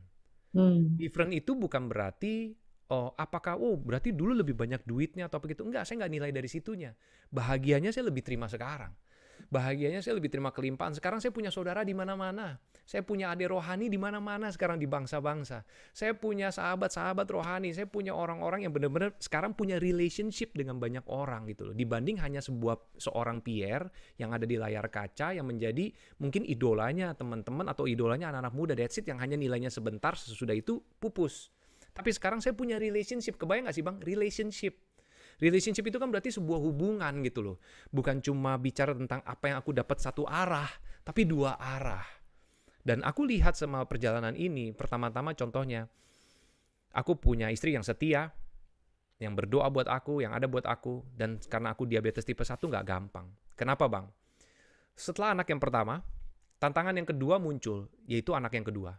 Hmm. Saya bilang sama Tuhan, pertama-tama dari sisi keluarga nih, saya sama istri pegangan tangan, dia bilang, Tuhan, orang-orang bilang kebetulan saya bisa punya Olivier yang pertama. Kami doa untuk anak yang kedua, yaitu Ezekiel. Nah, hmm. waktu kami berdoa gandengan tangan, akhirnya istri saya hamil lagi. Makanya hati-hati kok gandengan tangan sama siapa-siapa ya. Langsung hamil. nah, akhirnya dari situ, uh, waktu dicek ke dokter, dokter bilang, hey, anak kamu ada problem nih. Hmm. Anak kamu akan lahir dengan tidak normal, alias dia akan mengalami cacat atau Down syndrome. Hmm. Jadi dokter bilang di Makau waktu itu, kita buang aja ya. Nanti wow. kamu coba bikin lagi. Hmm. Wah. Tapi saya ingat banget istri saya bilang, hmm. kita pakai doa. Kita kita ini nggak bukan sembarang. Kita pakai doa dan biarinlah apa adanya. Akhirnya hmm. pulang dengan perasaan takut, khawatir juga, bingung juga, ngomong ke saya juga, ya udahlah kita jaga anak ini. Apa yang Tuhan udah kasih, Tuhan nggak mungkin ini kan. Sama seperti tadi saya percaya, Tuhan kasih sesuatu, pasti Tuhan mau kerjakan sesuatu. Tapi berjalan waktu selama 9 bulan itu terberat, Bang. Hmm. Kebayang nggak kita akan menantikan sesuatu yang nggak sempurna yang keluar, yang akan kita rawat seumur hidup, hmm. yang kau akan bertanggung jawab untuk sesuatu yang memang dari awal sudah dikatakan tidak akan sempurna. Hmm. Apa pun itu, mungkin kau bisnis punya, coba siapa yang mau punya usaha, tapi dari awal dibilang ini, bisnismu akan punya masalah, dan selama-lamanya akan punya masalah. Mana ada orang yang mau? Betul kan Bang? Dan ya. itu yang ada di pikiran kami, Gas Lovers juga. Saya saat itu juga mikir gimana ya, akhirnya kami berdoa terus. Sementara kami udah baru mulai namanya church planting, baru mulai melayani gereja, baru mulai nanam gereja. Lagi kesulitan, gereja mula-mula belum punya apa-apa. Cuman kayak tadi tuh bangku dingklik doang minjem, ya kan? Setiap hari duit kita, duit kita kita pakai buat gereja, Bang. Benar-benar saya pakai duit tabungan saya. Bahkan sampai istri saya tanya buat Anak yang pertama, Olivier sekolah. Satu waktu dia telepon saya waktu saya lagi ke Indonesia, dia telepon. Pierre, saya mau tanya sama kamu nih, dia bilang. Ini duit kita sekian nih di bank tinggal. Harus bayar sekolah. Dan sekolah di sini cukup mahal, Bang. Terus dia bilang, ya di Indonesia juga udah mahal sekarang ya. Terus dia bilang, yang mana nih? Tapi karena tanggal sekian juga harus bayar gereja, bayar sewa gedung. Pilih yang mana? Pikirin deh baik-baik. Udah. Wah, saya mikir, saya mikir, kok ikut Tuhan gini-gini amat sih gitu. Terus akhirnya saya telepon istri saya lagi. Sebelum saya ngomong istri saya udah bilang, saya tahu bayar gereja kan. Waktu dia bilang gitu, saya nggak tahu mau ngomong apa. Karena saya udah doa dan kok rasanya itu. Tetapi bang, habis tutup telepon, the next day-nya tiba-tiba ada yang ketok rumah kami. Ketok rumah saya. Terus datang ke istri saya cuma bilang gini, walaupun itu saudara kita ya, tiba-tiba dia bilang gini, eh, uh, dia bilang sama istri saya, Boni, gue nggak tahu gue lagi doa karena dia juga orang percaya tapi kok Tuhan ingetin tentang angka angka ini dan gue lagi mau bayar sekolah dia juga bukan orang berlebih dia lagi mau bayar sekolah tapi kok Tuhan bilang katanya ini kasih dulu buat lu dan angkanya itu bener-bener exactly dengan apa yang kita butuhkan buat bayar sekolah jadi Bagaimana penyertaan Tuhan itu terus gitu bang. Dan sampai akhirnya kami waktu lagi tengah-tengah bahkan kami ngalamin tuh anak ini akan lahir dengan tidak normal. Tapi kami juga ngalamin mujizat demi mujizat. Gereja tiba-tiba bang dari Indonesia ada yang ngebantu sampai kita tuh bisa dapat bisa beli bangku bangku buat tempat duduk, bangku lipat, bisa beli keyboard gitu loh. Ada yang bantu bang sumbangan dan kami pakai bener-bener full buat gereja aja. Kami nggak ada ambil speser pun buat kami. Dan berjalan dari situ bang, kami ngelihat waktu kami pulang kami akhirnya bawa ke Indonesia setelah enam bulan anak kami uh, istri saya yang hamil saya bawa pulang ke Indonesia saya cek sama dua dokter yang sangat bagus di Jakarta hasilnya bang sama anak kamu akan lahir dengan tidak normal Pierre ini anakmu akan cacat hmm. wah tapi satu dokter yang bukan anak Tuhan bang hmm. dia bilang kayak begini bukan anak Tuhan dia bilang gini ya oh. udah pak Kalau emang ntar anaknya lahirnya cacat, terus kenapa? Bapak punya Tuhan kan? Hmm, wah, sempat lagi itu. Kebayang nggak? Kebayang nggak? Ini orang bukan orang Kristen, bukan orang percaya, tapi dia bilang itu gitu loh. Tolong nyalin AC. Dan dia bilang seperti itu gitu. Dan saya kaget dan saya kayak, wow. Dan akhirnya kami pulang, kami percaya dan akhirnya di di akhir sebelum lahiran dan istri saya harus disesar saat itu malam sebelumnya Hmm. itu nggak ada dokter yang biasa pegang yang awal waktu itu minta itu dan dokter yang pegang kita itu adalah dokter keluarga emang yang biasanya ngelahirin satu keluarga kita lah karena Hmm. bersaudara semua Hmm. dan kali ini cuma dokter jaga dan dokter jaga buka catatan kamu udah siap buat besok ya dioperasi iya siap pagi-pagi ya iya siap dia lihat terus dia bilang gini kamu udah ready kan besok ketemu anak kamu anak kamu akan lahir dengan keadaan nggak nggak normal loh dia akan cacat." Hmm. jadi masih diingetin lagi tuh nggak? Malam itu. Hmm. tapi Tuhan bicara bang malam itu juga. Di dalam Yohanes dia katakan bahwa ketika waktunya itu tiba maka engkau akan tahu bahwa eh, ketika waktu itu tiba engkau akan tahu bahwa aku menyertai engkau dari semenjak awalnya ya. Penghibur itu akan datang dan kau akan terus bersaksi tentang aku. Bang saat itu juga tau nggak saya cuma punya mimpi bahwa apa? Oh ya sudah Tuhan serahkan sama Tuhan. Kita tumpung tumpang tangan. Besoknya waktu dioperasi istri saya istri saya pujian penyembahan. Hmm. dia pujian penyembahan pujian penyembahan gitu cuma nyanyi aja nyanyi nyanyi nyanyi nyanyi. Terus sampai dokternya bilang kamu takut ya? Jangan takut ya. Dia penyembahan aja. Ya Hmm. udah. Waktu dikeluarkan anak itu Hmm. tiba-tiba suster kasih tanda. Lalu Wow. dokter dibawa ke dokter dan dokter kaget dan dokter bilang ini dokter yang waktu itu bilang suruh dibuang aja anaknya. Wow. walaupun mungkin dia benar secara sisi medis ya. Dia bilang gini you know what Bonita? Dia bilang anak kamu ta- dapat tanda dua jempol setelah diperiksa sama suster. Artinya dia lahir lebih dari sempurna. Wow. wah haleluya. Wow. Luar biasa. kurang menang apa coba dan nggak lepas dari situ kebayang nggak dari situ lahir dan sekarang anaknya itu udah umur 10 tahun bang itu udah umur 11 tahun sorry dia udah umur 11 tahun sekarang itu sempurna perfect lucu banget lagi kayak bapaknya juga tapi maksudnya Pasti. Tuhan mampu lakukan buktinya gitu loh Ya, bahwa ya. Tuhan menyertai lalu kesulitan apa lagi Hmm. tentu saya masih struggle dengan kesehatan saya Oh, saya Mas. masih ya masih gula darahnya masih berantakan, masih nggak baik. Tiba-tiba di tengah jalan, Tuhan kasih kami bonus bang. Di tahun 2013, Tuhan kasih kami satu bonus yaitu anak cewek. Jadi dua, satu, dua cowok, lalu tiga. Jadi orang bilang gini, ini kok gula darahnya kacau, kok orangnya nggak sehat, tapi kok anaknya banyak katanya. Dan Belum ternyata- tahu dia. belum tahu dia, nggak Belum tahu dia. Backupnya ada siapa? Iya, siapa dulu ya. Dan ternyata bang, Ya. waktu kami sebelum lahiran, Tuhan kasih lewat mimpi namanya, yaitu namanya Efrata Taylor Christie. Di situ Efrata Taylor Christie bang, kami dapat nama itu. Oke. Nah waktu dia lahiran lucu, anak cewek ya, udah gede, sampai dia berumur tiga setengah tahun, semua just fine, it's okay, baik, semua jalan baik. Dan Tuhan bahkan berbicara kepada saya di tengah perjalanan itu bahwa penyakit ini tidak akan membunuhmu, tetapi akan memuliakan namaku. Waktu Tuhan bicara seperti itu sama saya, saya semakin semangat. Wah, Tuhan ada di pihak kita nih saya. Ya. Wah, jadi lagi semangat. Gereja lagi menuai, jiwa-jiwa lagi bertambah, bahkan anak-anak muda mulai datang dari kampus-kampus ya. Jadi benar-benar lagi growing ministrinya, lagi pelayanan tuh lagi tajam gitu loh bang. Kira-kira seperti itu kata-katanya. Tiba-tiba satu hari, Efrata yang kecil mungil lucu ini, dia mukanya pucat. Wah, lalu sesuatu yang kami nggak mau itu menghantui kami. Jangan Ya. sampai, jangan Hmm. sampai seperti bapaknya, kira-kira seperti itu. Hmm. Tapi akhirnya kami bawa ke rumah sakit karena sudah satu minggu dia rasanya lemas, capek, pucat. Kami bawa dan ternyata dokter vonis bahwa Efrata pasien diabetes tipe 1. Artinya mulai hari itu di umur tiga setengah tahun, Efrata harus diinjeksi empat kali sehari dengan insulin sama seperti ayahnya. Wah, waktu dengar berita itu kami hancur hati bang. Gas lovers saya jujur, saya seorang hamba Tuhan, tapi saya seorang manusia. Saya sama istri saya nangis kita. Kita nangis karena kenapa? Istri saya nemenin saya selama masa sulit 10 tahun, kebayang nggak? Ya. Ngelewatin masa-masa keluar masuk ICU, udah mau mati, nggak jadi, Tuhan kasih kesempatan nafas, dan sulitnya menjaga kesehatan gitu loh.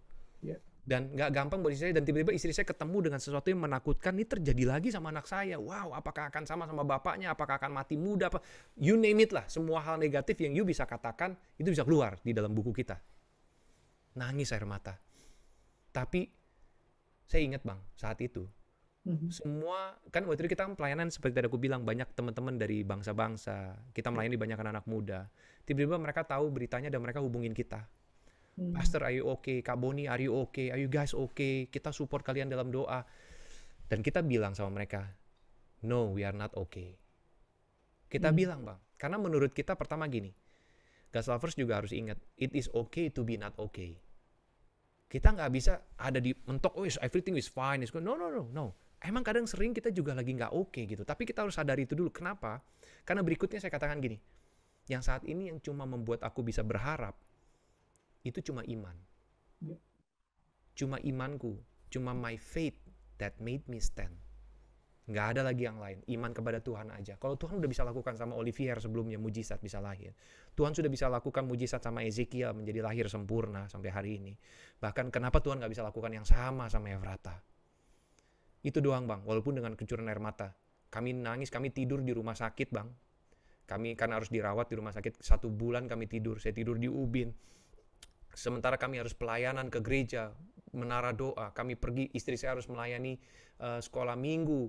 Dan bahkan istri saya cerita, eh, Kak Boni cerita gitu loh, Gas Lovers. Dia cerita, dia bilang, waktu dia nyanyi kayak, How great is our God. Sing with me, how great is our God. Dia katakan waktu dia bilang betapa besar Allah, betapa besar Tuhan. Tapi dia lagi dalam keadaan dia kok kayaknya kehancuran ada di depan gitu loh.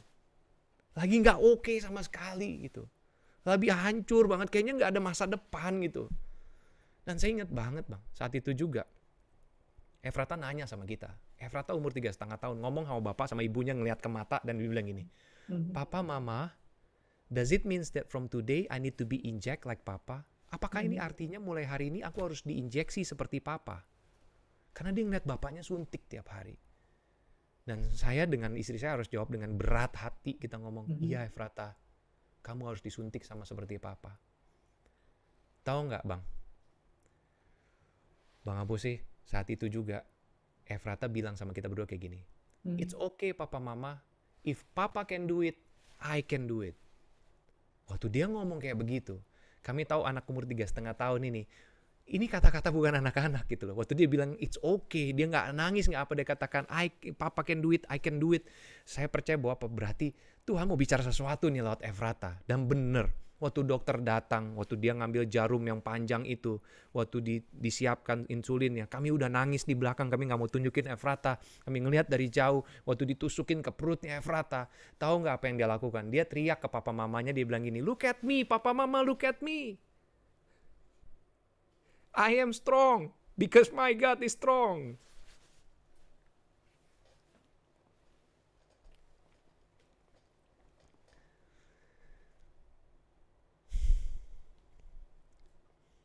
Wow. I am strong because my God is strong, dia bilang. Dan hari ini, Efrata umurnya um, 8 tahun, masuk 8 tahun. Sekarang Efrata sudah bisa cek darah sendiri. Efrata sudah bisa suntik sendiri. Efrata sudah bisa bicara, dia bahkan punya satu ministry sendiri melalui sosial medianya dia. Dia punya Instagram sendiri dan YouTube-nya. Dia berbagi berkat dengan cara apa? Enggak, kita nggak nyari Efrata supaya terkenal gitu. Enggak, kita nggak mau Efrata mau jadi orang kondang melalui apa uh, content creator. Bukan itu. Tapi ada satu message ternyata dari kehidupan Efrata. Tahu nggak bang? Lewat Instagramnya Efrata, waktu Efrata cek darah, ini cara makan yang benar gimana, hidup sehat gimana. Ternyata banyak yang DM bang. Banyak orang-orang tuh nggak gas lovers, orang-orang yang udah patah semangat. Banyak orang tua yang ngelihat anaknya yang sudah difonis sakit dan akan menuju kepada kematian, udah kehilangan pengharapan. Mereka bilang thank you for Efrata, udah berbagi keceriaan. Efrata selalu semangat di di di, di IG-nya Efrata ketawa berkatakan, "Hey everyone, good morning. Now I'm gonna inject myself. Nih, this is I count my blood. dia cek darah dia, lalu dia ambil suntikan, lalu dia suntik. Eh, it's okay, I am strong because my God is strong. Dan dari situ ternyata dia jadi berkat bagi bangsa-bangsa. Dia punya ministrinya sama ibunya sekarang banyak orang private message dan ibunya bantu untuk kelola untuk sosial medianya. Jadi terhubung bahkan dengan anak-anak muda, remaja yang juga udah punya lifetime illness, artinya punya penyakit yang udah dari muda. Mereka kepikir nggak bisa punya suami, nggak punya teman, nanti mati muda, tapi mereka punya pengharapan lihat Efrata dan dan Efrata menjadi keceriaan buat banyak orang di sisi yang lain. Bahkan dia aktif di dalam komunitas-komunitas diabetes tipe 1 dan kebetulan yang hubungannya kayak papa sama anak gini Bang yang jaraknya deket gitu tuh agak rare. Kasusnya cukup rare. Iya. Dan akhirnya Efrata bisa bicara dan akhirnya waktu kami pergi ke bangsa-bangsa, ke negara lain, ada perkumpulan, ada orang-orang yang datang hanya mau ketemu sama Efrata sama ibunya dan cuma bilang kayak thank you. Kamu kasih kita kekuatan gitu loh. Dan hari ini saya bisa lihat bahwa sulit nggak? Sulit. Gampang nggak? Enggak. Tough nggak? Tough. Perjuangannya banyak banget. Bukan hanya kita harus hidup hari- sehat setiap saat. Karena kenapa? Tiap malam kita udah nggak pernah tidur nyenyak. Setiap jam 3 pagi, jam 4 pagi pasti saya atau istri saya harus bangun cek darahnya Efrata. Kalau nggak bisa kehilangan. Karena yang paling menakutkan adalah ketika gula darahnya terlalu rendah, dia pasti bisa kebanyakan kasus adalah meninggal ketika lagi tidur. Dan bahkan kalau tinggi berbahaya dengan saraf matanya dan sebagainya. Kita harus jaga hidup kita. Artinya kita punya keseimbangan hidup. Tubuh, jiwa, dan roh kita jaga dengan benar. Dan dari sini kita belajar bagaimana kita punya relationship sama banyak orang. Kita punya menghargai orang lain. Bagaimana kita hidup seturut rancangannya Tuhan. Jadi melewati kesulitan demi kesulitan. Mujizat demi mujizat pun menyertai. Sampai hari ini Olivier aja bang saya mau bilang dia bisa terima beasiswa di sekolah di Makau. Lalu terus pernyataan-pernyataan untuk anak-anak. Pemerintah bisa mensupport kami dengan caranya. Dan begitu banyak hal mujizat yang lain saya mau bilang nggak habis kasih karunia Tuhan. Dan hari ini, di tahun yang ke-11 ini, kami punya tema, Mhm. Tuhan kasih itu, itu touch the people and change life. Menyentuh jiwa-jiwa dan mengubah hidup. Saya percaya pada tujuan akhirnya sama seperti visi yang Tuhan kasih di awal. Mhm. Recycle please.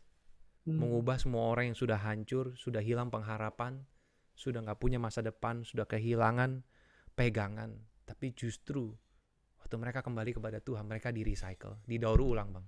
Dari sesuatu yang nggak berharga, tiba-tiba menjadi berharga.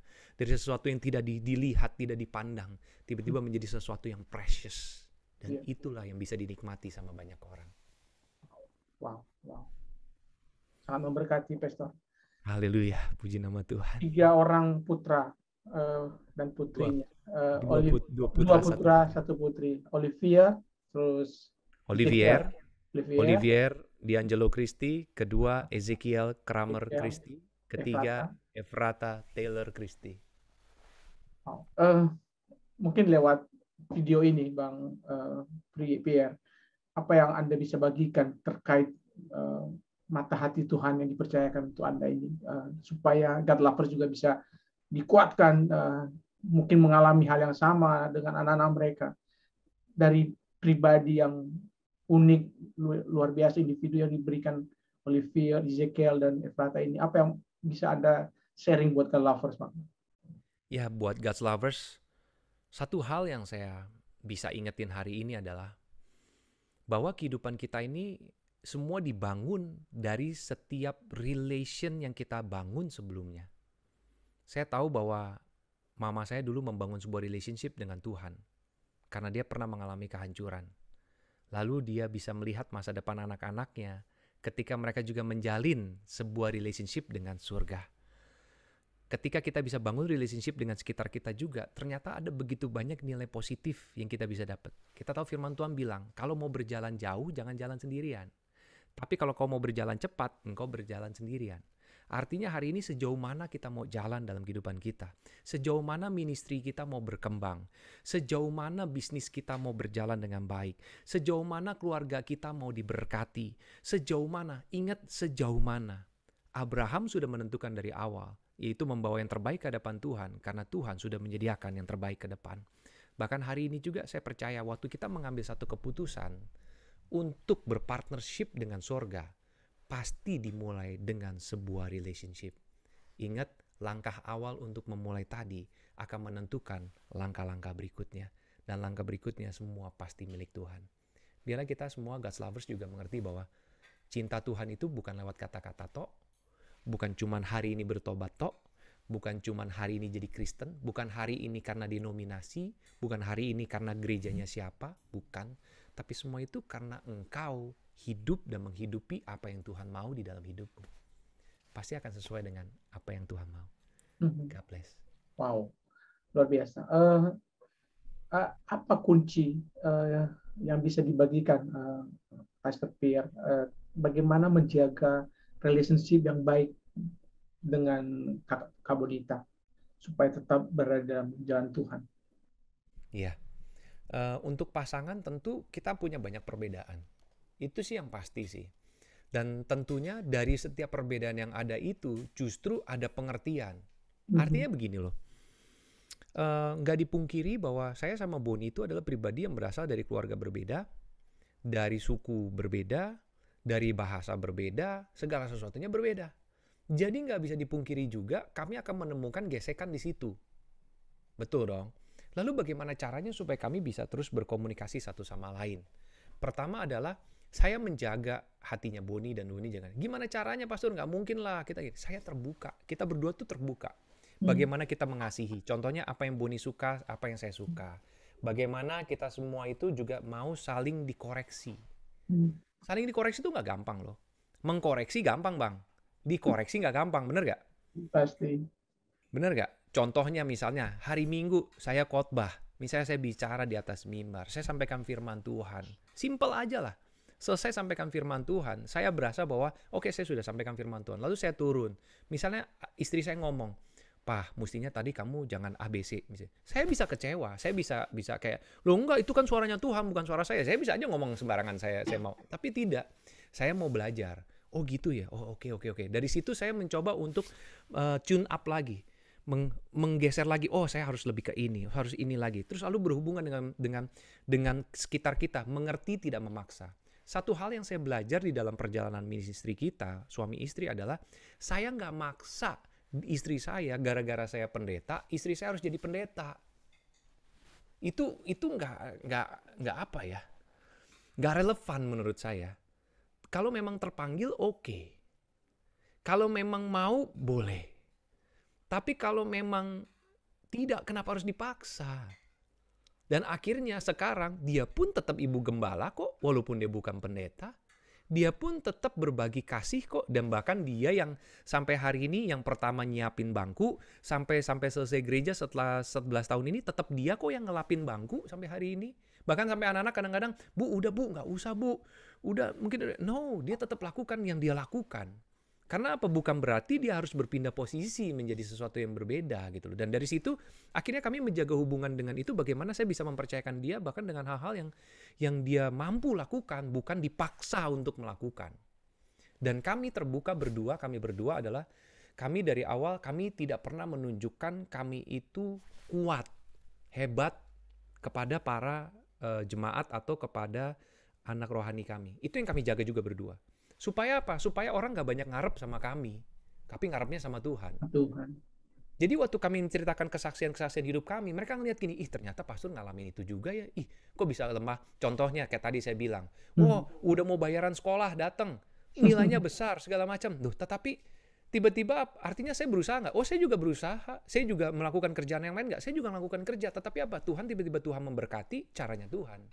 Jadinya saya juga tidak mengajarkan anak-anak muda ini juga atau orang-orang muda ini juga untuk tidak tidak responsif dengan kehidupan mereka. Nah, kami harus jadi contoh. Istri saya sampai hari ini masih nge-bake. Dia seorang baker.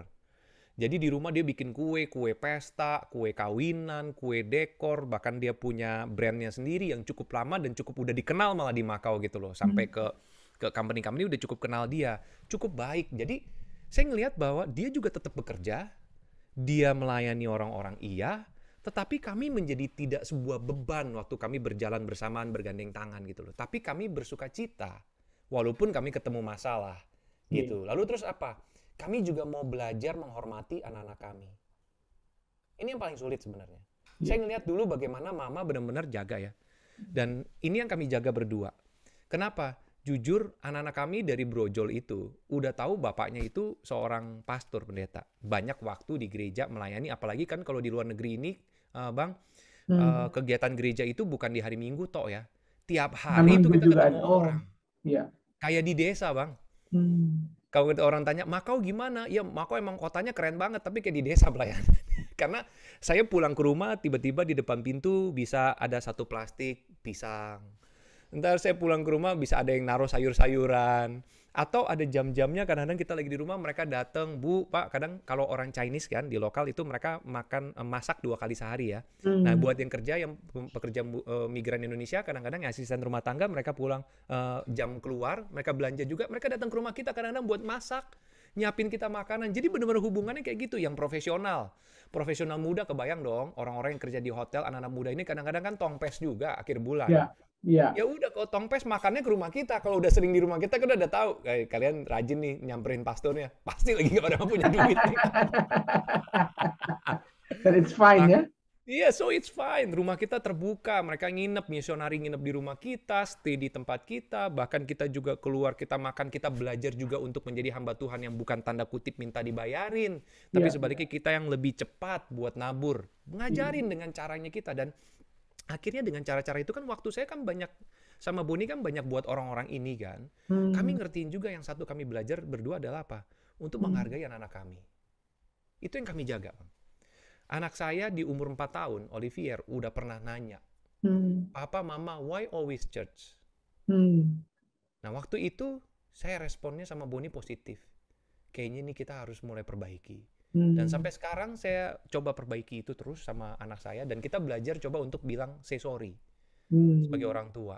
Bukan sebaliknya kita nungguin anak selalu yang salah, kita yang bilang, "Oh ya kan Hmm. papa begini, kamu tuh nggak ngerti." Gitu. Nggak gitu, nggak. Hmm. Tapi ketika kita kita salah, kita deketin ya, Oli sorry ya, kemarin papa marah sama kamu, papa ini sorry I yell, eh, aku teriak sama kamu kemarin aku nggak tahan mungkin, tapi I'm sorry for that, oke. Dan, dan dengan itu akhirnya anak kami pun tahu cara mengucapkan sorry juga, maaf juga. Hmm. Dan hubungan kami akhirnya terus support satu sama lain walaupun tetap bisa ketemu masalah. Ya. Ketemu gesekan. Dan dengan cara itu yang aku terapin sama Boni berdua dan kepada anak-anak dan kepada jemaat, akhirnya kami semua ini melihat bahwa kami semua ini nggak perfect. Tapi bisa saling melengkapi. Itu tadi, dengan relationship yang baik, bisa berpartnership. Wow. Luar biasa.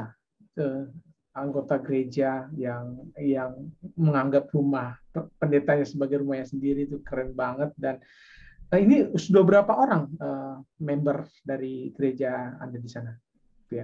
Wah, kalau members sebenarnya banyak bang, ratusan bang. Hmm. Karena keep on growing ya sebenarnya ya. Ya, Kayak ya. kita people come and go tuh banyak sekali. Karena memang gereja luar negeri kan people come and go. Hmm. Tapi kalau misalnya jemaat sendiri yang stay saat ini Hmm. itu sekitar 100 sampai 150-an orang itu yang stay yang ada di Makau.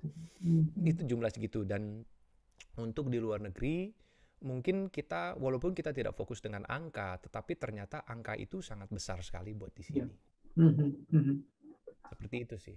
Ya, bagaimana Anda melihat eh, eh, apa namanya keberadaan teknologi sekarang, misalnya lewat eh, Zoom, lewat YouTube ini bisa melayani eh, bangsa-bangsa, eh?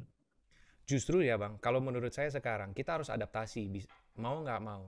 Banyak mungkin gereja lebih baik ya ketemu dengan cara yang lama karena terbiasa dengan cara yang lama. Iya, Tapi kita nggak bisa hindari bahwa kemajuan teknologi ini akan luar biasa. Karena saya kan juga praktisi media ya. Saya ngelihat bahwa media teknologi ini kan sudah gila-gilaan sekarang. Kemajuannya luar biasa. Bahkan sekarang kita udah masuk lagi, udah metaverse sudah keluar lagi nih sekarang. Iya. kan. Jadi benar-benar bahwa dunia maya itu sudah menjadi bagian daripada dunia real, dunia nyata. Kita dulu nggak bisa bilang lagi bahwa kita harus pisahkan. Dunia maya itu miliknya setan nih, cara kerjanya setan. Media sosial, cara kerjanya setan. Semua kita ngomong begitu aja nyalain setan terus, akhirnya kita buang waktu di dunia yang lama. Di dunia yang lama, generasi yang baru ini masuknya dunia yang baru. Mohon maaf, akhirnya memang kita nggak bisa jangkau generasi yang baru. Tapi Iya. hari ini kalau kita bisa merendahkan hati kita kayak tadi, kita bisa belajar untuk belajar dari anak-anak kita, belajar dari generasi muda, belajar dari orang sekitar, belajar dari dunia yang ada. Kita bisa gunakan ini sebagai kudanya kita sebenarnya. Kalau kita bisa masuk hari ini, contohnya maksimalisasinya adalah dengan adaptasi teknologi ya. Aku kebayang bang, one day Hmm. e-church itu akan terjadi di mana-mana. Tuhan kasih aku tentang tentang e-church itu berapa tahun yang lalu, sebelum pandemik. Tepatnya itu 2017-2018 Tuhan bicara tentang e-church. Karena aku nanya sama Tuhan kan, aku mau mau berperan lebih lagi di di media. Apa Hmm. ya? Nah karena kebetulan Bang Apose nanya ini, Hmm. Terus aku nanya sama Tuhan gini, apa ya? Terus kayak Tuhan bicara terus e-church, ah, apa sih e-church? Aku nggak ngerti bang pertama, e-church apa ya? Tapi aku ngertinya gini loh, e-church berarti kan digital church, gitu aja. Itu yang aku tangkep. Oke Iya. lah, digital church, oke electric electronic church, oke something like that. Apa apa maksudnya? Tapi tiba-tiba berjalannya waktu berbulan-bulan berkembang tuh bang. Kayak Tuhan tuh ingetin kayak gini, one day, suatu hari nanti gereja-gereja itu akan tanpa tembok. Akan ada banyak gereja tanpa gedung Iya. akan ada banyak ruangan-ruangan pojok ruangan pun bisa jadi gereja kamar tidur yang paling pojok aja bisa jadi gereja dan Ya. zaman dulu kalau misalnya kita harus kirim eh, para misionari hanya dari sekolah teologi baru dikirim ke daerah-daerah ke pelosok-pelosok tapi kali ini justru jemaat-jemaat kita yang tinggal dari tempat kita di-equip di tempat kita disiapkan di gereja-gereja kita waktu mereka kembali ke rumah-rumah mereka di pedesaan di dusun di atas gunung dengan kemajuan teknologi yang begitu pesat sampai yang namanya 5G dan segala, maka kita akan terkoneksi dengan cepat. Ya. Kebutuhan mereka buat menginjil di lapangan, buat kebutuhan mereka untuk membangun sebuah gereja dari gereja skala rumah sampai skala uh, perkumpulan dan sebagainya itu pasti terjadi dengan kemajuan teknologi. Ya. Dengan kemajuan teknologi begitu cepat hari ini, kalau kita nggak adaptasi kita kehilangan. Nah akhirnya dari situ aku ngelihat bang, waktu kita masuk di pandemi, Hmm. aku mulai setup beberapa memang aku pengen start sesuatu media media company lagi yang bergerak di dalam dunia profit dan non profit tujuannya salah satunya adalah untuk kayak begini untuk kegerakan media di dalam sesuatu hal yang benar. Eh Hmm. ternyata tiba-tiba waktu masuk eh, eh, pandemik sempat komplain sama Tuhan kok Tuhan kayak jadi kayak begini? Orang lagi nyiapin satu tahun ini kok begini? Heh tiba-tiba sekarang semua orang terpaksa harus menggunakan teknologi. Yang tadinya menolak pun harus memaksa sekarang. Mau nggak mau harus webinar. Mau nggak mau harus zoom conference. Mau nggak mau harus semua hybrid. Mau nggak mau. Nggak bisa nggak dan bagi orang yang tidak mau ya sudah ketinggalan tinggal Ya. di tempatnya segitu aja tetapi bagi yang mau justru jangkauannya lebih luas Ya. kalau digunakan dengan benar Ya. dan saya mau ingatkan juga sama kita semua karena kayak tadi bang abang bilang karena eh, kemajuan teknologi ada bahayanya juga bahayanya adalah akhirnya gereja-gereja nggak punya jemaat tapi punyanya Ya. follower Ya. punyanya jumlah viewer yang Hmm. dicari bukan jemaat akhirnya pelayanan pribadinya pelayanan personalnya akhirnya dari jumlah dari angka sesuai dengan SEO sesuai dengan SEM yang mereka lakukan Ya.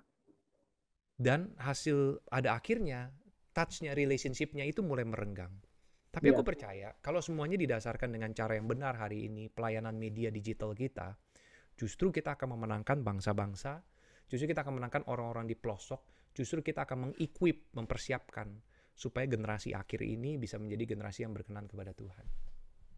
Artinya tadi Pierre mau bilang bahwa selain teknologi berkembang juga tetap butuh namanya gereja yang fisik yang tadi itu bagaimana kita saling bisa bertumbuh bareng gitu ya. Gereja harus tetap jadi naungan. Gereja harus tetap jadi bendera, tetapi gereja harus tetap berhati besar. Terutama generation gap itu terjadi hari-hari ini. Generation gap di antara gereja itu terjadi. Insecure di antara gereja itu terjadi. Ketidakcocokan di antara gereja itu terjadi.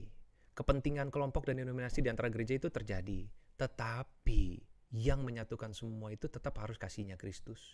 Betul nggak? Kayak tadi kita, kehidupan kita punya gesekan. Nggak bisa dihindari. Punya bisnis, toko sebelah sama toko sebelah bisa gesekan. Betul nggak Bang? Ya. Tapi kan tetap bagaimana kita bisa membangun sebuah hubungan. Kan gitu. Iya. Pada akhirnya nanti kan semua bisa diselesaikan dengan baik atau enggak. Contohnya, apakah akan tetap ada gereja eh, gedung? Apakah akan tetap ada gereja yang eh, mungkin yang lebih tradisional? Tetap akan ada. Dan tetap akan dibutuhkan, betul.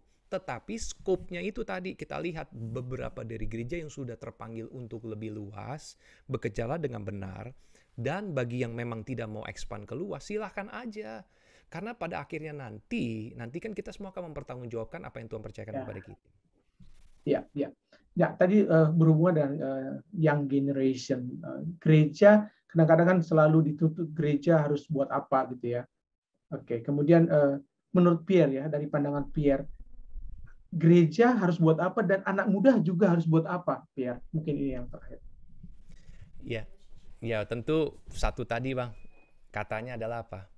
Relationship. If you want to have a partnership, you have to build a relationship. Kalau engkau mau ber berpartnership, berjejaring, bersahabat, engkau mau berjalan bersama, ya Hmm. engkau harus membangun relationship. Relationship itu apa sih dasarnya relationship? Communication, komunikasi. Iya. Lalu apa?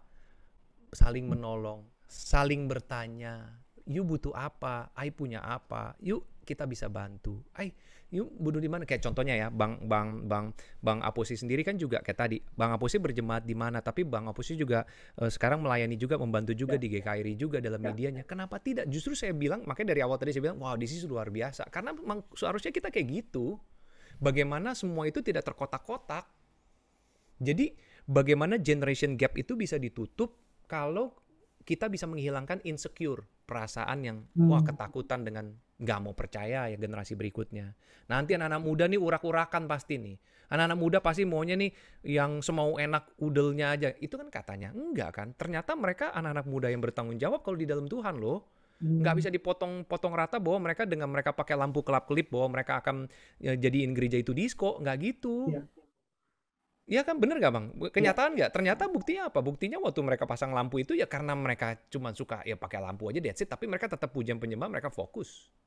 Lalu berikutnya apa? Kembali dengan gereja bapak-bapak kita. Kita pun juga anak-anak muda. Jangan berasa kita yang bakal masuk surga sendirian. Kita anak-anak muda, kita menghormati apa yang sudah ditanam, yang sudah didoakan sama generasi sebelumnya, generasi bapak-bapak kita. Nah yang paling sulit, Bang Apose, adalah Hmm. generasi jembatan.